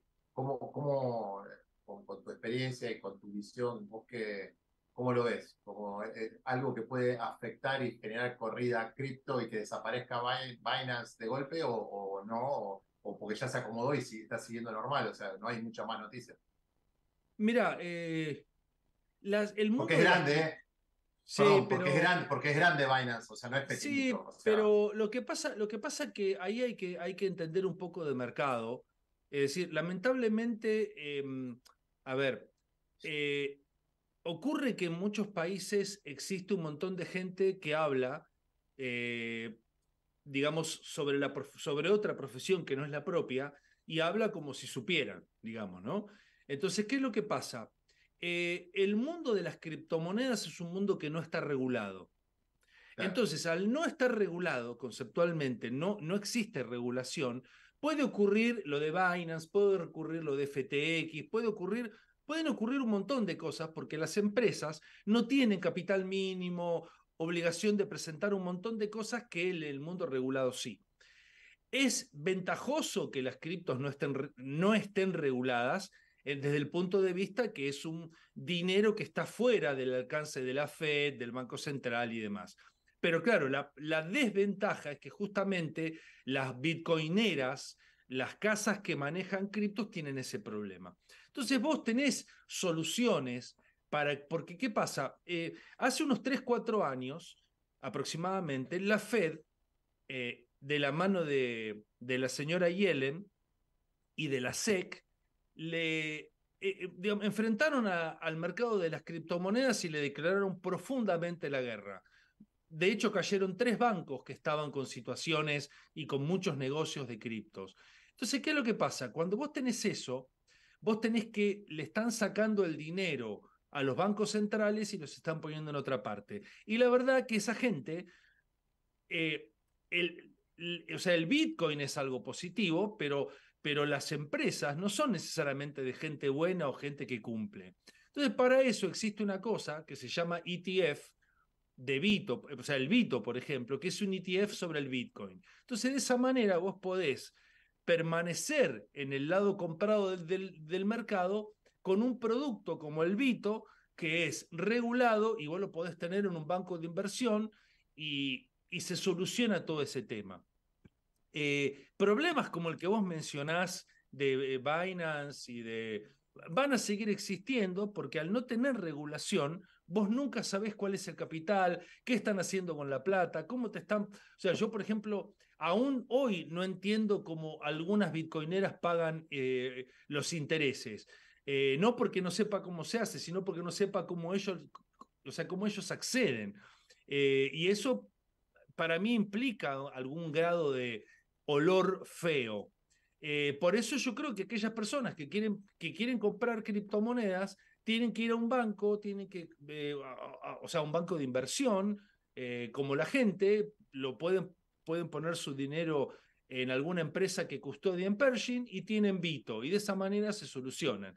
Lo que pasa es que en esto lamentablemente hay tanta información de gente que no conoce el tema, que no, que no entiende. Entonces dice, sí, mira, metete en esta, metete en aquella. O sea, a mí, por ejemplo, el otro día vino alguien y me dijo, un cliente mío, un amigo mío, que quería invertir en Solana, porque, que, es una cripto, porque alguien le había dicho que iba a andar bien. Y Solana, que hace poco estaba a 400 dólares, ahora opera cerca de los 50. Entonces, ¿cuál es el punto? Que eh, es bastante difícil que una persona se meta en un producto sin conocer el trasfondo, ¿no es cierto? Me parece que se fue, que, me parece que te fuiste, Juan.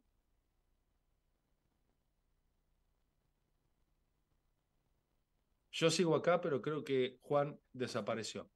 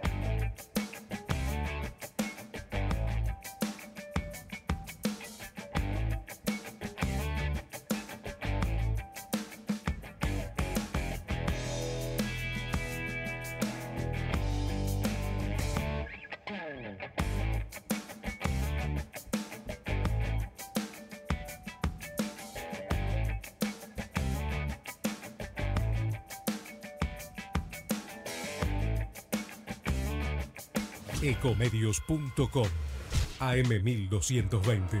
Estamos con vos. Estamos en vos. American and Merit Hoteles. Primera cadena hotelera argentina. 3, 4 y 5 estrellas. Más de 20 destinos de Argentina y el Cono Sur. Aprovecha el código promocional Puro Branding con el 10% de descuento para los hoteles Amerian Córdoba Park, Amerian Executive Córdoba, Amerian Buenos Aires Park, Merit San Telmo y Amerian Executive Mendoza Hotel hasta fin de año. No válido para fines de semana largos. American and Merit Hoteles. Informate en ecomedios.com. Seguinos en TikTok, arroba ecomedios 1220.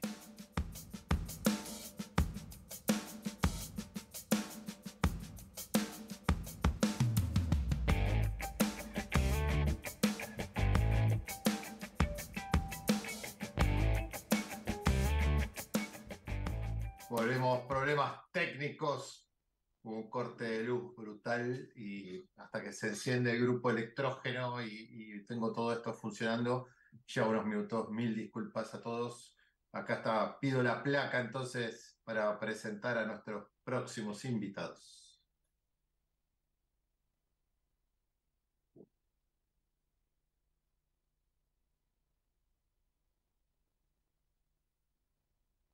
Ahí, ahí la placa de entrevistas con los número uno, por favor.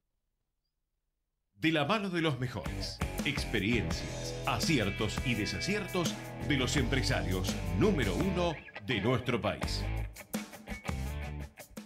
Tengo el gusto de presentar a Nicolás Kosmon, a Matías Tarnowski de bueno, partner y fundadores de RUH Natural.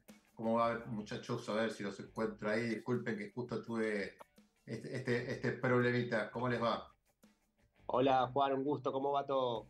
Muy bien, muy bien. Ah, perdón, y, y pues tenía el, el- Y Lucía y Lucía, y Lucía, por eso, sí. Sin ella no estamos hablando, olvídate. De ella ya estamos hablando, sí. Ahora, eh, vos te podés ir, por favor, y quedamos con la nota con Lucía, como corresponde. no, sabes que tuve un corte, tuve un corte de, de luz y, y, bueno, tengo, por suerte tengo grupo electrógeno, todo esto, pero hasta que arranca otra vez, me- esos como tres minutos que, que nos quedamos fuera del aire. Pero mil disculpas, chicos. No, no pasa nada, todo bien. Está, está bueno, entonces como Lucía, Nicolás y Matías. Muy buenas tardes a todos. Buenas Hola, tardes. buenas tardes. Buena, Ahí buena. está. Ahí lo, lo- lo lindo de, de esto va a ser medio, medio caótico porque son tres y nos vamos a ordenar para hablar. Pero bueno, a ver, tome la palabra uno, así porque sé que la historia está muy buena, entonces cu- cuenten cómo, cómo arranca Ru Natural. O sea, para es la, la pasión por la salud, porque eh, eh, sos médica, ¿no? Sí, yo soy médica y mm, bueno, la historia es que, mm, bueno, yo estaba trabajando en medicina estética y, pero no me gustaba. O sea, la verdad que, no, no, la verdad que no, no me gustaba para nada. O sea, yo tenía mi consultorio en Palermo, la verdad que nada, bueno, me iba bien. Mati estaba trabajando en una empresa, em, pero a mí no me gustaba nada y un día llegué medio en crisis y, y, le- y Matías me dijo, eh, no te gusta lo que haces, o sea, es, es evidente, no sé qué, me dijo, yo no te preocupes, dejá- lo, lo dejás de hacer, medio como que me obligó. Me dijo, no lo, no lo haces más, porque yo, bueno, medio lenta para tomar decisiones, me dijo, no lo vas a hacer más, listo, ya está, no te gusta, no te gusta lo que haces, bueno, listo. Bueno, fue re difícil tomar la decisión porque, bueno, nada, yo eh, cerrar todo y además no tenía, digamos, otra cosa para hacer. Entonces, eh, bueno, nada, fue, fue, fue, fue una época difícil, pero bueno, eh, dejé todo y en, esa y en ese momento fue cuando empecé a interesarme, en realidad ya desde antes me empezó a interesar más eh, la salud desde otro lado. Eh, desde el lado de qué me pongo en el cuerpo, eh, ¿no es cierto?, de cómo me alimento, o sea, fue como así, todo como como un despertar más o menos fue. Y, y empecé a investigar, lo primero que yo quería cambiar, le, le- le dije a Matías, le dije, no quiero usar más desodorantes con aluminio, porque el aluminio es un metal pesado. Y, y yo ahí, claro, caí en la cuenta, dije, yo me estoy poniendo aluminio todos los días en el cuerpo, que es neurotóxico, no puede ser. Bueno, entonces empecé a investigar y dije, bueno, voy a hacer un desodorante yo, natural, que no tenga aluminio y que funcione. Bueno, como Y, li- ya- y libres de plásticos, y libres de plásticos también, ¿no? Exacto, y eso vino después, eh, sí, Ah. pero, pero sí, fue como... entonces dije, sí, sí, pero entonces dije, no, bueno, eh, voy, a- voy, voy a hacer el voy a hacer un desodorante que, que, que funcione, bueno, entonces, bueno, lo empecé, lo hice, yo qué sé, obviamente el primero que lo probó fue él, que, que, que se- obviamente, claramente se iba a sumar a todo, eh, bueno, y entonces, y me dijo, se lo di también a amigos, a familiares, y la verdad que empecé a recibir re buen feedback y, y- bueno, y, no- y nosotros principalmente, como que, che, esto está bueno, funciona, y ahí Matías me dijo, che, esto lo re podemos vender. Y yo le dije, ¿quién va a comprar esto, please? Le digo, estás loco, o sea, ¿dónde lo vas a vender? O sea, no, no, aquí yo, ni idea, además yo médica, ni una sola clase de marketing en la facultad, o sea, nada, o sea, un cero. Y Mati me dijo, sí, sí, lo vamos a vender, esto se vende, esto la gente lo va a comprar, y yo, bueno. Entonces, bueno, nada, y lo, lo publicó en Mercado Libre, o sea, claro, también después, sí, eso que mencionás, eh, tampoco quería usar plásticos, envases de plásticos, porque bueno, los plásticos también tienen su- sus complicaciones, sus disruptores endógenos, entonces eso tampoco lo quería hacer. Y bueno, y Matías hizo la primera venta por, por Mercado Libre. Yo no, no lo podíamos creer, la verdad. Tenemos una foto en la oficina con el primer envío que hicimos, que está como en un marquito ahí. Y, y- bueno, nada, no, no lo, yo la verdad que no lo podía creer. Y después, eh, bueno, me entusiasmé y dije, bueno, voy a seguir investigando. Eh, le dije a Matías, quiero, quiero probar a hacer un shampoo sólido, también por esto de los plásticos. Eh, o sea, dije, a ver, esto es bárbaro, tipo, eh, no precisa envase, o sea, para viajar está bárbaro, no tiene agua, no, eh, no contamina, no, o sea, es biodegradable, o sea, en, en- afuera había, había bastantes marcas que lo hacían, una que yo había probado que me había encantado, y dije, bueno, lo voy a hacer yo. Y, y bueno, y Mate me animó todo, sí, hacelo, dale, bueno, y ahí lo hice, empecé a probar fórmulas y probé un montón de, acá en mi, acá en mi casa, probando, Claro, claro. probando, probando, probando con no sé qué, bueno, hasta que salió una fórmula que la verdad quedó, quedó buenísima. Y, y bueno, Matías, lo, Matías ya había hecho una, a todo esto ya habíamos dado un pasito más, Matías había hecho una página web donde teníamos unos botoncitos ahí malísimos que la gente apretaba, bueno, no sé cómo hacíamos, pero vendíamos. Y el shampoo sólido recontra pegó, la gente lo re empezó a comprar, se ve que el mercado estaba como, como esperando. Yo sinceramente yo pensaba que, que, que era la única que, que me iba a interesar eso, pero se empezó a recontra vender y bueno, nada, la historia es que después finalmente Matías hacía su trabajo y después en paralelo llevaba toda la parte comercial, hacía los costos, bueno, todo lo que implica, ¿no es cierto? Llevar adelante un negocio. llevar adelante un negocio, Claro, yo claro. no tenía idea, además no me importaba. Bueno, y hasta que Matías en un Pero- momento dijo, bueno, nada, yo dejo, dejo mi trabajo y me, me, me voy a dedicar a RU. Y bueno, Claro. y, y de, de verdad que ahí, bueno, nada, hicimos un crecimiento exponencial que, que, que nunca, hasta ahora, por suerte. hasta producto, o sea, desde tu profesionalismo eh, y el- el- las ganas de desarrollar un producto diferente, algo que, que no atente contra la salud y el medio ambiente, y, y junto con Matías con la administración de negocio, el marketing y todo, pero también en, en 2020 se sumó Nico, ¿no? Nico, buenas tardes. Ahí estamos. ¿Qué tal? Ahí estamos. Buenas tardes. ¿Qué ¿Todo tal? bien? Muy buenas tardes. Vos ahí partner también de, de RU, ahí está el equipo completo, ¿no? O sea, lo- los tres, o tengo alguno más escondido, por favor. Ah, hay más gente, por suerte, que colabora con nosotros, pero, pero, pero en lo que es gerencial somos nosotros tres. Claro, claro. En 2021 se sumó Nico, en 2021, corrijo. Te- te- Pensé, que tenía, pensé que era el 2020. Había 2020. leído 2020 2021, así es. Sí. Y, el, el- aporte profesional, eh, o sea, entre, los tres, digamos, ya se encarga de, más allá del desarrollo de productos y, bueno, obviamente de todas las bondades, eh, la administración, el marketing, las ventas, o sea, empezaron a darle forma ya, eh, bueno, la- la- las finanzas de la empresa le empezaron a dar forma a la compañía, ¿no? Sí, tal cual. Tal cual, tal cual. O sea, primero el primer pasito que dimos eh, antes de la incorporación de Nico fue inscribir nuestros productos en Almat en 2020. O sea, que ya habíamos complejizado un poco más la línea, eh, que eso nos permitió empezar a crecer también más en, en- en puntos de venta acá, más allá de los clientes finales que ya nos compraban, porque imagínate que hacíamos, como te dijo Lu, la cocina de casa, todo. Después fuimos cambiando la forma, siempre cuidando las formas de, de producción, pero esto fue como un paso muy grande. Y, y bueno, en, 2000, en 2021, después de todo esto, fue Nico, que, que es compañero mío del colegio, que me contactó y me dijo, che, ¿por qué no probamos llevar esto afuera? ¿Estás preparado? Y yo le dije, no, pero, pero si me ayudas, obviamente que lo podemos hacer. Y, y bueno, sí, en 2021 eh, empezamos a, a- trabajar en conjunto y ver qué, qué- qué mercados o qué cosas podíamos, digamos, a dónde lo podíamos llevar. Y bueno, y tuvimos la suerte y, y el atrevimiento de, de querer probar Estados Unidos.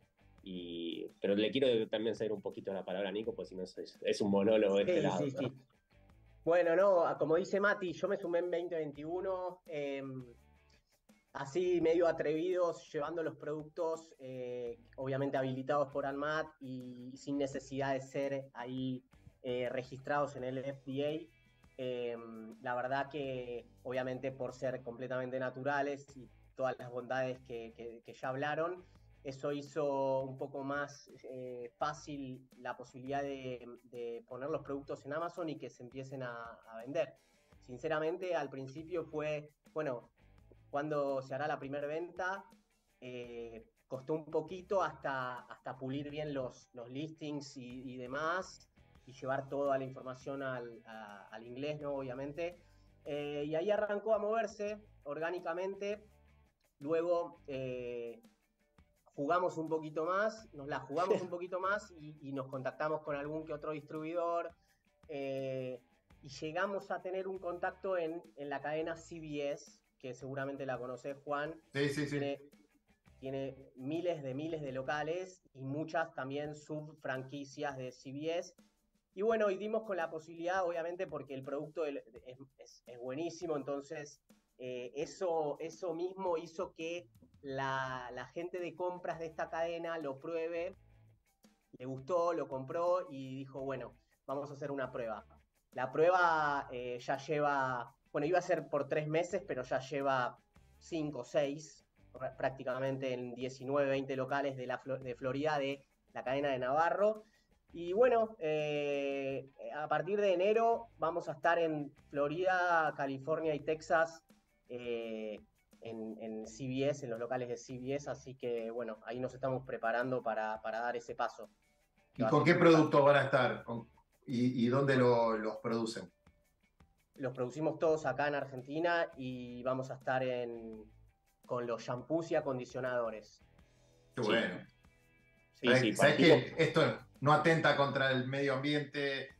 eh, son ecológicos, están buenísimos y, y me imagino que lo habrán ya testeado o, o intentado, pero por ejemplo, para, no sé, en Argentina, como, como por esto de Estados Unidos está buenísimo y obviamente en otro tipo de moneda y entrar, pero en, en supuesto, Argentina, en Argentina, ¿cómo, cómo, cómo les va y por dónde distribuyen?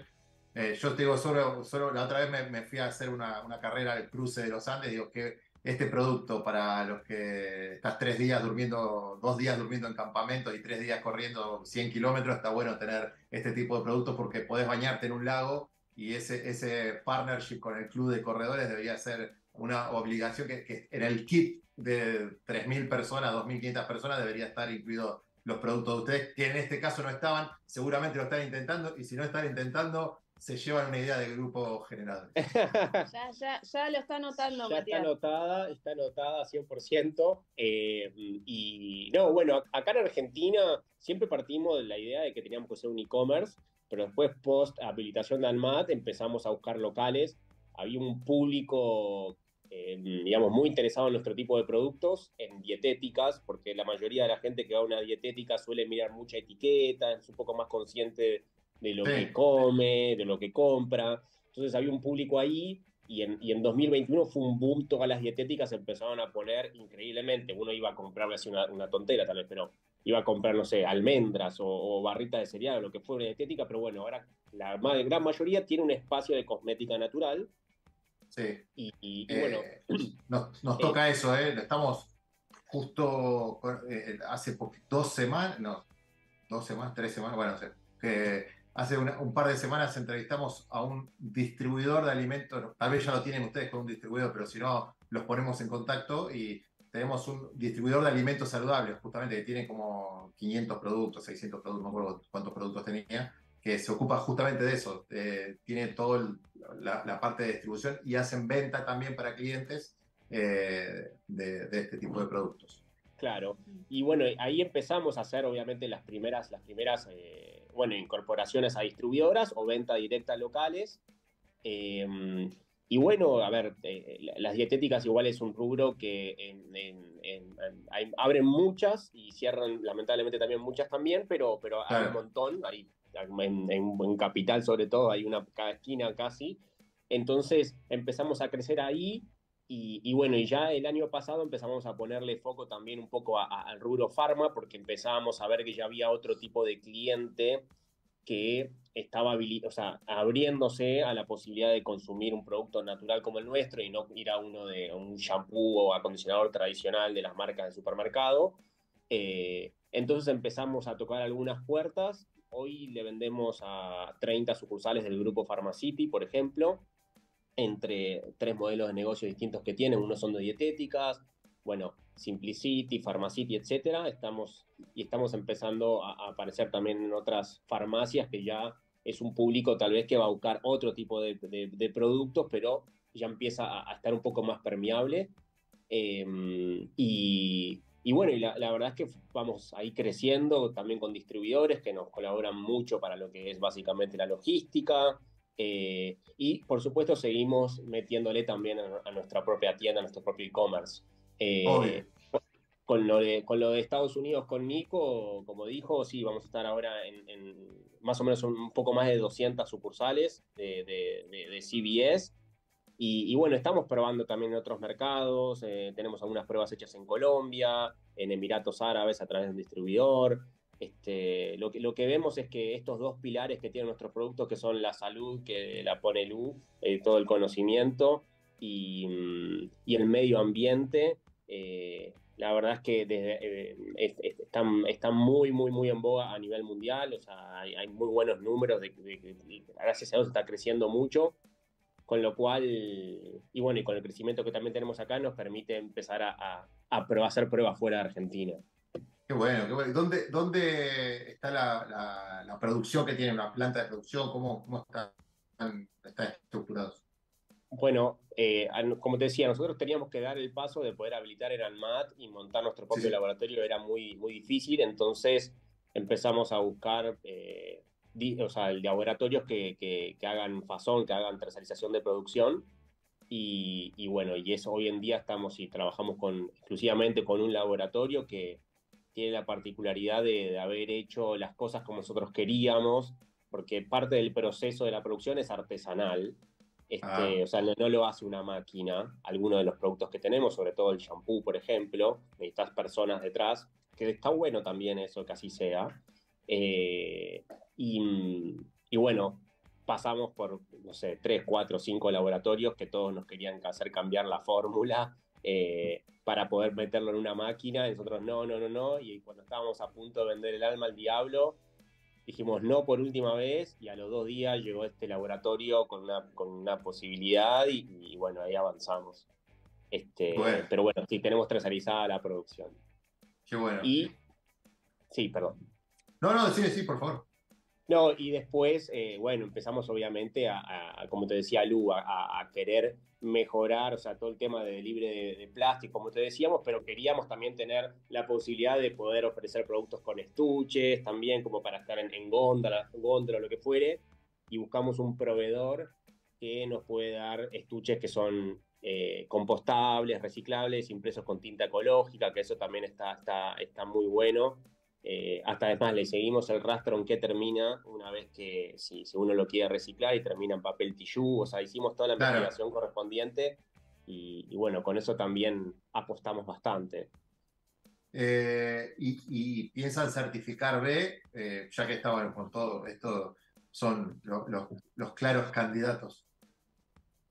¿Perdón? ¿Certificar? No, certificar empresa B. Ah, bueno, ver, empezamos un proceso, empezamos un proceso, pero todavía no, este, no, no se terminó. Empezamos a hacer, eh, hay, hay, unas certificaciones del gobierno de la Ciudad de Buenos Aires, también que son unos ecosellos, este, que, te, que te permiten después hacer la, la de triple impacto, que estuvimos, hablando con, no sé si es la principal empresa acá de Argentina, este, que también está por, por Latinoamérica en general pero, pero nunca lo terminamos. Pero eventualmente sí, hay un montón de certificaciones que nos gustaría hacer, pero bueno, vamos paso a paso. Claro, claro, claro. Y para, para todo lo que es el comercio exterior, digamos, ¿tenés alguna, Nico, que exigen algo particular que, se les haya complicado un poco en el camino? ¿O la verdad que las puertas se abrieron por, justamente por lo, lo bueno del producto?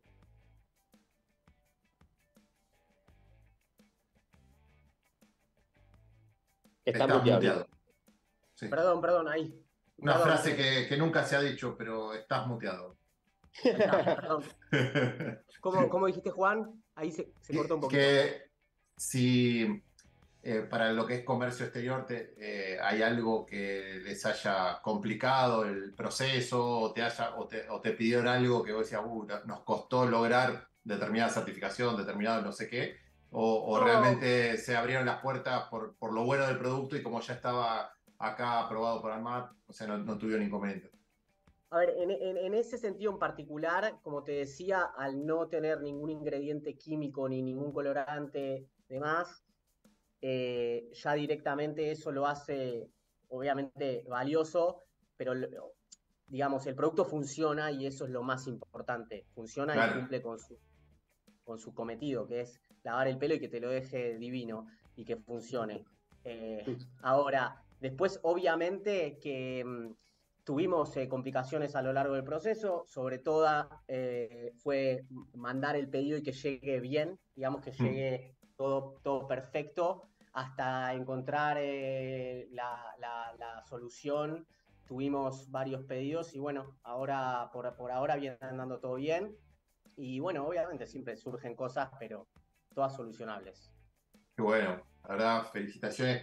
el tema comercial, ¿cómo lo tienen estructurado? Eh, ¿tienen, ¿Ya tienen vendedores o así? Porque bueno, el, desarrollo de canales, de buscar, eh, ya tanto sea en Argentina como en otros países, como estaban probando. Matías, ¿cómo, cómo está armado comercialmente RU? Acá en Argentina sí tenemos un equipo comercial, este, que a poquito lo queremos ir complejizando un poco más.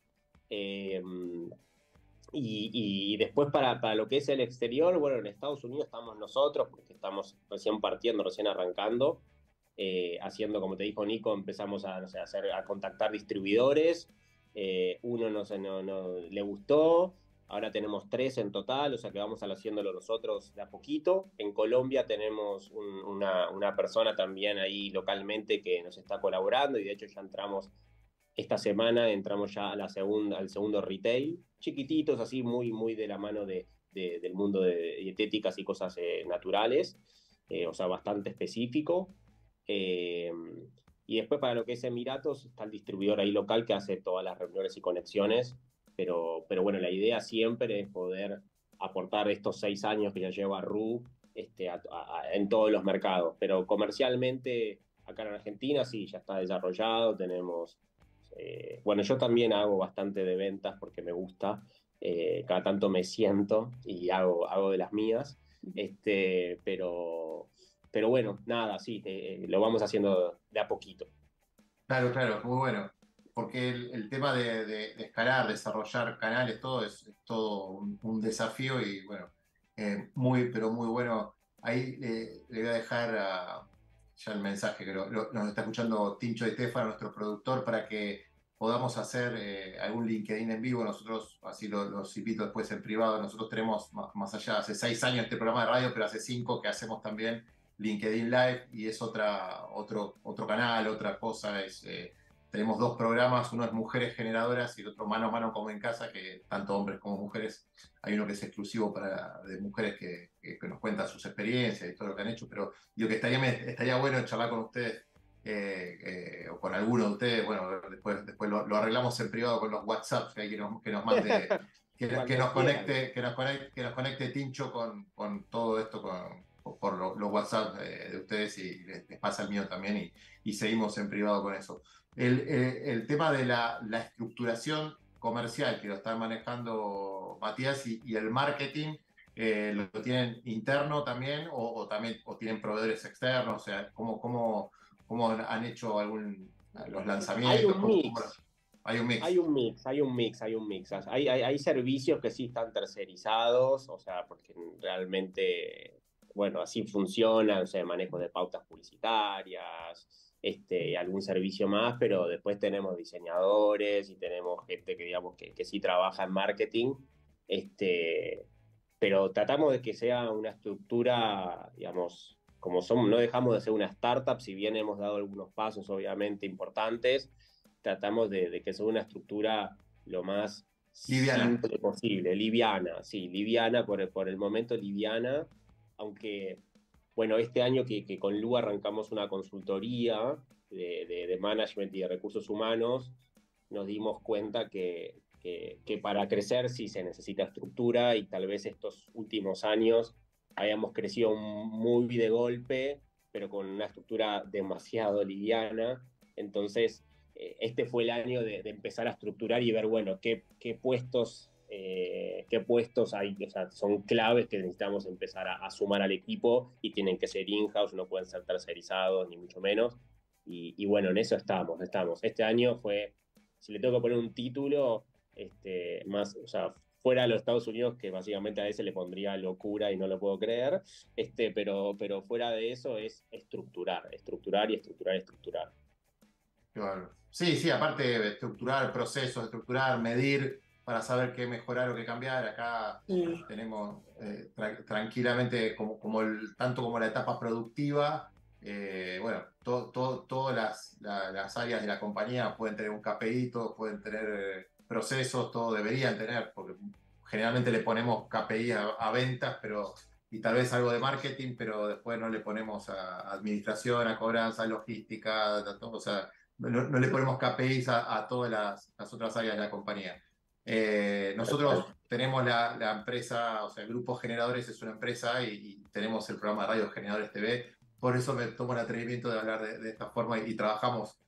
La idea nuestra es ser la caja de herramientas del pyme y del emprendedor. Entonces, por eso, y, tenemos tantos casos de vistos y, de gente que, por eso te decía, che, te, después los puedo conectar con el de con el distribuidor de alimentos eh, Green Co, de, de, alimentos saludables que tiene un montón de puntos, o tal vez los conoce, tal vez trabaja con ellos, pues son muy buenos y, bueno, y, y, otros como lo del club de corredores, bueno, me parece que debería ser algo que tendría que hacer porque eh, ahí tenés, que en este momento se está corriendo el cruce de los Andes, yo, yo lo hice el año pasado y tenés tres días y son creo que son 2.500, 3.000 personas que, que, duermen y, se meten en los lagos, pero no pueden ni shampoo, ni jabón, no pueden usar nada para, para no contaminar. Vos podés llevar tus alimentos, eh, tenés que llevarlo en bolsitas Ziploc, o sea, los geles que vas a tomar en botellitas, eh, los, todo lo que otras cosas que lleves, barritas de cereal, membrillo, lo que sea, sin papeles, sin nada, en bolsitas Ziploc para que después la bolsita te la quedás, pero no, para que no contamines nada, o sea, son súper estrictos, pero bueno, se me ocurre que un producto como el de ustedes debería comprarte de a miles y a cientos de miles y tenerlo en el kit que te dan como corredor cuando pagas muchísimo dinero en la inscripción, debería estar incluido los productos naturales de ustedes. Esperamos el contacto, esperamos el contacto, de hecho. Por supuesto. Te mando la factura ya impresa directamente. no, pero nosotros, grupo generadores, podemos aportar al ecosistema y eh, hay, hay, varias cosas que son interesantes. Podemos eh, presentarle al presidente del Club de Corredores y, y, a ver si pueden hacer algo y, que él los derive con la persona que corresponde. Así que me parece que es algo muy interesante. Súper bienvenido. Justo ahora, ahora están en, en, el sur, pues se está corriendo esa carrera que yo este año no, no, participé, pero se está corriendo justo esa carrera en este momento. Pero como esas hay otras, ¿no? Pero digo, esas se me ocurre por el tema de los lagos, de tanta gente junta, las inscripciones son eh, son caras, digamos, o tienen un valor interesante, va gente de muchos países, o sea, les sirve para mostrar el producto en varios países, me parece que es algo que todos ganarían ahí. Pero, pero bueno, eso para hablarlo, después lo charlamos en privado, no hay ningún problema. Pero, y los presentamos con, todo, con todo gusto, como presentamos a, siempre a todos los que podemos conectar. Esto es la idea, eh, hacer puentes con, con, los... Eh, sí, networking, hacer puentes con los las pymes, los emprendedores, entre, entre todos nos ayudamos y salimos adelante. Así que ojalá que, que eso así suceda. ¿Cómo, cómo se ven de acá a, tres años? O sea, ¿qué, ¿cuáles son los próximos pasos de ustedes, más allá que ya tener eh, lo de Emiratos y obviamente Estados Unidos y este crecimiento, pero eh, ¿dónde llegamos? ¿Más productos? Eh, ¿Lugo? ¿Cómo estás con el tema de, de los productos, Lucía? Perdón, con el tema de los productos. bueno, tengo un montón de, de ideas, tengo infinitas, y en carpeta tengo un par de, un par no, bastantes productos como para, para desarrollar, ya, ya van a ser para el año que viene, tal vez eh, para este año pueda sacar un jabón para el cuerpo, que es como lo que nos faltaría como para cerrar el, el, kit de baño, pues tenemos un jabón para la cara, pero no para el cuerpo. Em, pero bueno, yo soy la verdad bastante hincha, investigo bien los ingredientes, no me gusta tampoco un producto que esté, tenga muchos ingredientes, entonces es como que, y obviamente también tienen que ser todos naturales, entonces bueno, em, a eso me dedico yo, a investigar y bueno, y, hacer pruebas de, pruebas de desarrollo. Ahora tenemos el jabón para el cuerpo que está en prueba, pero creo que en, no sé si en dos semanas ya seguro, creo que lo podremos lanzar. Y después, bueno, me encantaría a mí ampliar la línea en todo, en hacer maquillaje. Ah, eso te iba a preguntar, justamente. Sí, me eh, encanta. Maquillaje, eso para mí es un gran desafío porque, perdón que te interrumpí, pero te voy a hablar como, yo soy un señor grande, te voy a hablar como papá. Eh, eh, tengo, dos, tengo dos niñas, una de 11 y una de 13, y, y cuando ves que tu, tu, tu, hija le ves la piel divina, así, pues son nenitas, ¿viste? o sea, son nenas, o sea, y, y, y ve porque las amiguitas que están con el maquillaje y se quieren maquillar, no, te vas a reventar la piel, no, es, innecesario. qué gracioso que me mencione- es muy gracioso lo que me estás mencionando, pues nosotros tenemos una sobrina, que es la hija de mi hermana, que es mi ahijada, y viene acá porque le encanta venir, viene todos los fines de semana. Y eh, obviamente fascinada con Ru, no sé qué, ay, eh, te, te tenés que hacer esto, tenés que hacer lo otro, y es exactamente lo que me contaste, hace toda una Ah. rutina de skincare para la piel que yo la quiero matar, porque tal cual le veo la piel y le digo, Pía, por favor, no necesitas ponerte nada, pero bueno. Nada, bueno. Pero bueno, ellas están, son, ellas son muy target, ¿no es cierto?, de, de, de- de ese marketing. Eh, Sí. Ella tiene 12, o sea, Bueno, imagínate. está, está está, sí, lo mismo, la- sí. Por eso, Es lo mismo, entonces Sé, lo que me hablas, pero es tan así que yo le dije, voy a hacer un focus group con vos y tus amigas, pero ya lo tengo organizado, ¿eh? Tengo, tengo, tengo, mira, de este lado tenés mode- modelos, tenés modelos ad honorem y tenés, eh, eh, como es, Eh, para el focus también. Pero Pero lo más grave de todos, lo más grave que ustedes que también entienden de marketing, lo más grave de todos es que cuando asocian un producto, eh, no quiero decir eh, de baja calidad, sino voy a decir directamente pedorro, cuando asocian un producto pedorro a una, a una marca que está buena, a un, a cantante, a una, o, o una actriz o a lo que sea, entonces más grave aún, porque la- les revienta la piel, a veces no son ni siquiera hipoalergénicos, y, o sea, es lo peor que puedes poner en el cuerpo y las chicas lo ven y dicen, pero lo usa tal, lo tiene tal, y quieren seguir todos eso, y yo me quiero matar, entonces digo, necesitamos un RU que ayude a los padres, ya directamente... Es trágico, sí, pero de una, de una, de una, de una. Eh, no, sí, no, so- so- son esto y lo otro, bueno, no sé, pero, pero sí, entiendo exactamente lo que decís, así que sí, voy, eh, me interesa mucho, eh, ellas saben todo, ¿entendés? Para dónde está yendo la tendencia, qué es lo que... Entonces, eh, por ese lado sí. No, y aparte tenés Eh, chicas que viajan, o sea, cuando, cuando encima, eh, bueno, no sé si decir suerte o no suerte, no sé, bueno, cuando uno está en un lugar donde eh, lo, lo podemos por suerte viajar y qué sé yo, y conocer y cosas importadas, y viene una, no, yo traje esto de Miami, yo traje No, esto de Europa, yo traje, así. no, no, tremendo. No, es literal así. Toda, ella Así y las amigas todas iguales. Entonces, Lucía, tenés el pedido de un señor mayor que te está diciendo acá, antes de irme de este mundo, necesito que Ru tenga los productos para que cuide a mis hijas. Por favor, te lo Anotado, pido. anotado. Pará, y, y- y te- ah, todavía no, no te lo mencionó, pero también tenemos en carpeta hacer productos de limpieza para el hogar, inclusive también como jabón para la ropa, detergente para Claro. platos. Sí, porque esa también es una obsesión mía, digamos, yo eh, en mi casa no uso nada de eso, no, no compro, digamos, los comerciales, porque bueno, sí, está, todo es una gran bola de químicos tóxicos. Entonces, eh, con Matías eh, eh, los hacemos acá también. Y tenemos una marca a la cual alguna, por ejemplo, el jabón para la ropa, que la verdad es bastante fiaca hacerlo, bueno, lo compramos. También lo podría hacer yo perfectamente y también lo podríamos comercializar. Claro. Pero bueno, eh, Mirá que estoy por agendar. otra habilitación. Pobre, pobre Matías. Estoy por agendar su nombre apellido. Pobre Mati, las cosas que debe soportar este Cristian. No, listo. ya está.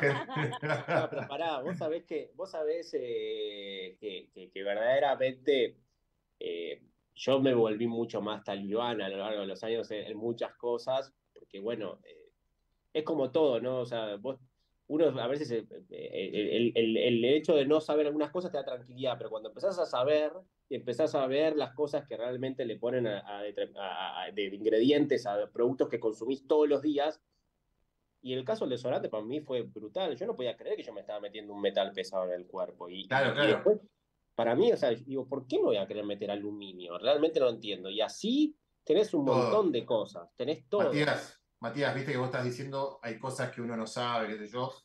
Eh, lo que no sabes es que mi esposa es bióloga molecular, genetista, investigadora del CONICET. Entonces, eso que, eso que te está pasando a vos con él, a mí me pasa con todo. O sea, eh, aga- aga- agarrás, agarrás una, una hoja de lechuga y decís, no, pero si no está la- lavada de tal forma, no, esto no lo compramos, si es orgánico, no, y agarrás un pote de no sé qué corno, y, lo- o sea, y, y- y lo que sea, y lo que comes, obviamente. No, y esto es antioxidante, esto es antiinflamatorio, No, esto es acá esto todo será- es- Bueno, entonces es- eh, te aseguro que te entiendo. Y bueno, yo quiero saber, Nico, desde el otro lado del comercio exterior, porque ustedes dos están juntos ahí, digo, Nico, que si sufre algo o, o ya sos talibán también o, o, tratás de moderar un poco la cosa, con, contaros un poco, también hay que, hay que penetrar mercados, decir, che, vamos con la, la ametralladora de, de, Yo no soy talibán, no, para nada, pero, eh, pero a ver, cuando veo un producto que, que digamos, como, como este, que cumple con mis expectativas y además eh, ayuda y, y digamos, eh, favorece al medio ambiente y tiene, digamos, pocos eh, químicos o no tiene sulfatos o no tiene parabenos, bueno, ahí yo ya compré. Claro, claro, y claro. Es donde, y ahí es donde, bueno, a mí como emprendedor y un poco eh, esta, esta pata que vino acá a, a externalizar a Rude de la Argentina, bueno, eh, yo compré y, así es donde, donde, donde entré yo, digamos. Pero me parece que es importante que uno sepa que primero que lo pruebe, ¿no? Porque ahí es donde para mí es lo más importante. Que una vez que lo probás y te das cuenta que funciona y que cumple, bueno, decís, ah, ok, entonces yo estuve comprando todos estos años este producto lleno de agua y de químicos y ahora me di cuenta de que realmente hay, se puede ir a lo natural sin ser talibán tampoco, ¿no? Sí, sí, sí, sí, obvio. Pero, pero bueno, eh, tenemos lindas charlas con Mati sobre estas cosas. Ahora, ahora yo voy a encontrar otro problema más. Ya hablé de mis hijas, yo hablé de mis hijas, ahora voy a hablar de Violeta, Lu. Violeta es mi perrita. ¿Qué onda con las mascotas? ¿Por qué a ellos sí le podemos dar metales pesados, plásticos, químicos y todo, y no, y no me desarrollaste nada, creo, porque no me lo contaste, para mis mascotas? Porque Ay, no. podemos montar, podemos montar ese producto en Richmond Vet, que es la división veterinaria del laboratorio Richmond, que, que es cliente nuestro. Ya, no, Ah, ya ni, bueno. siquiera, ni siquiera es contacto, nosotros le desarrollamos, le implementamos todos los procesos comerciales a Richmond y, y, eh, programas de management, de liderazgo de mandos medios, capacitaciones a fuerza de ventas, o sea, todo lo, lo- lo hicimos nosotros. Así que ahí tenemos al presidente directo y dice, che, tenés esto y ama a los animales porque es veterinario de, de corazón y de profesión. Entonces tenemos un laboratorio con planta de producción en el parque industrial acá en, no me acuerdo si era Ga- Garín o, Yo vivo en Pilar, esto está acá cerca, Pablo Nogué, no sé dónde, Garín, por acá cerca. Me encanta, me encanta. Nosotros amamos también los animales, o sea que estamos en. Pero en no me dijiste nada, pero no me dijiste nada. No te animales. dije ¿Qué nada, hago? pero- ¿Qué hago con qué producto tenemos para Violeta, mi mascota? Pasaron tantas, nos pasaron tantas cosas en RU que ya eh, casi como que perdimos la cuenta, pero sí, eh, nos habíamos sentado a charlar en un momento con una gente que nos había contactado y la verdad que a mí me reinteresa, se puede, o sea, imagínate también la comodidad de, para, para los animales es lo mismo que, eh, sería lo mismo que con nosotros, a ellos también hay que cuidarles la alimentación, hay que cuidarles lo que se ponen en la piel, hay que cuidarlos Claro, pero todo. por ejemplo, le venden, yo tengo que comprar el shampoo para, más allá que la llevas a bañar a la ma- a Violetita, mi amor, pero tenés que comprar el shampoo porque también quieren tener el shampoo. A las chicas les gusta bañar a Violeta. Entonces, si, te- si yo en lugar de comprar el shampoo que viene con el coso de plástico, todo esto, tengo el, el- el- el shampoo para el pelo de la mascota que, y encima que no tiene ninguna por nada malo, ¿te das cuenta? Tenemos una No, mascota más saludable. No, es Al espectacular. final me vas a contratar como asesor de marketing a Donoren, me vas a regalar. a- Yo le voy a preguntar, a, le voy a preguntar a, a- a- ya te tiré como cuatro ideas, le voy a preguntar a Tincho Di Stefano si tenemos, nos mandaron, me imagino, un shampoo o algo, ¿no? Na- nada me está diciendo acá. Qué gente No, jodida. Qué ge- no, no, no, ahora no quiero nada, me ofendí. Ya, no, no, Ya. no, ya les mandamos. No, sí. Batman, lo Batman se ofendió. No, no, no. Lo, había, lo, lo habíamos pensado, pero bueno, eso también tiene otra aprobación. Viste Sí, que es el- Sí, tengo ese NASA, eh. necesitas NASA. ese NASA Sí. era, era, era otro, era otro, otro, otro, otro, otra institución, pero sí es verdad lo que dice Luna. En un momento una, una, una, una gente se nos acercó. A ver, yo no tengo pruebas, pero no tengo dudas que nuestro producto se puede utilizar en animales también. No, eso yo ya lo sé Obvio. que se puede. Eh, y sería muchísimo mejor que lo que utilizan probablemente en cualquier pet shop donde uno lleva a veces a, a- bañarse mascotas, ¿no? Eh, estoy convencido también de eso, no tengo pruebas, pero no tengo dudas. Pero, pero debe, a ver, el, el- el universo de cosas que hay para hacer es, es un montón y, y yo lo que he aprendido en estos últimos seis años es, en- es el foco que antes como emprendedor no tenía y, y bueno, eso transmitido obviamente por Lucía, que es esa la que me baja a tierra todo el tiempo, porque yo si no empiezo a volar y no me bajas ni un, ni un escopetazo. Eh, y, y bueno, pero, pero es un proyecto que tenemos ahí también, porque me parece que, bueno, nosotros, a- nosotros tenemos una mascota, tenemos a Kiwi, que es un gato, y nosotros le damos un tipo de alimento que es de apto consumo humano. Yo no sé si vos te animás a comer Royal Canin, pero este, no sé si Bueno, podía decir. En el- en el- sí, decir lo que quieras. Acá eh, es nuestro programa, decimos lo que queremos. Ok, eh, pero, pero, pero nosotros le compramos uno que es apto consumo humano, por ejemplo, este, eh, que, que, que apareció, aparecieron como dos marcas en Argentina, fuera de, de- de que yo agarro y le, tal vez le cocine algo yo, ¿no? Pero digo, fuera de eso, si uno quiere la facilidad de ya el producto, etcétera, etcétera, eh, hay algunas ya marcas que aparecen, con lo cual sería un muy buen mix también tener, bueno, si puede tener un perro que le esté dando, no sé, apto, eh, un un alimento de apto consumo humano, ¿por qué no lo voy a bañar con un shampoo natural? No, y además, Viendo, viendo Shark Tank, que muchos de acá seguramente hemos visto al menos un capítulo de Shark Tank. No, viendo Shark Tank, yo también, eh, aunque no soy experta, me, di cuenta que eh, la parte de cuidado de mascotas mueve mucho, porque de verdad que es algo que a la gente le importa, cuida mucho a las mascotas y le importa. Es un tema que, hay público para eso también. Es verdad. Que la verdad, chicos, hay, no solamente hay público, sino que hay de todo y, en lo que podamos colaborar, cuente con nosotros eh, como canal de difusión. Después arreglamos el privado. Creo que ahí tengo ya un celular de Nico. Después, si me pasan el de, ustedes, ahí les pasan también el mío. O, Nico, pasales a ellos el, mío y que me pasen. Y ahí seguimos en contacto en privado y, y estas las tratamos de materializar y presentarle a la gente adecuada. Les súper agradezco, Nico. Felicitaciones y gracias. Matías eh, y Lucía también. La verdad, un gusto tenerlos acá. eh, eh, todo lo que hemos dicho de pobre, pobre Matías era solamente un chiste, obviamente. Bueno, en realidad no, era chiste, yo también soy pobre, así que la verdad que me, me tienen, me tienen cortito acá con todas las cosas, los alimentos, todo, pero, pero por favor solucion, solucionen el tema de los maquillajes y las mascotas, por favor. Vamos con todo, chicos. Así que la verdad, muchísimas, pero muchísimas gracias por, por todo lo que nos dieron y nos contaron y, y ojalá que sigan creciendo muchísimo y tienen a disposición este medio como para seguir difundiendo próximos pasos. Así que gracias y, nos vemos gracias. pronto. Juan. Gracias, un abrazo grande. Muchísimas gracias. Bueno, como vieron, co- como vieron la nota buenísima con lo- los tres, la verdad que Ru eh, va con todo. Muchísimas gracias por seguirnos. Nos vemos y nos escuchamos el próximo lunes en esto que dimos a llamar Generadores TV. Muchas gracias.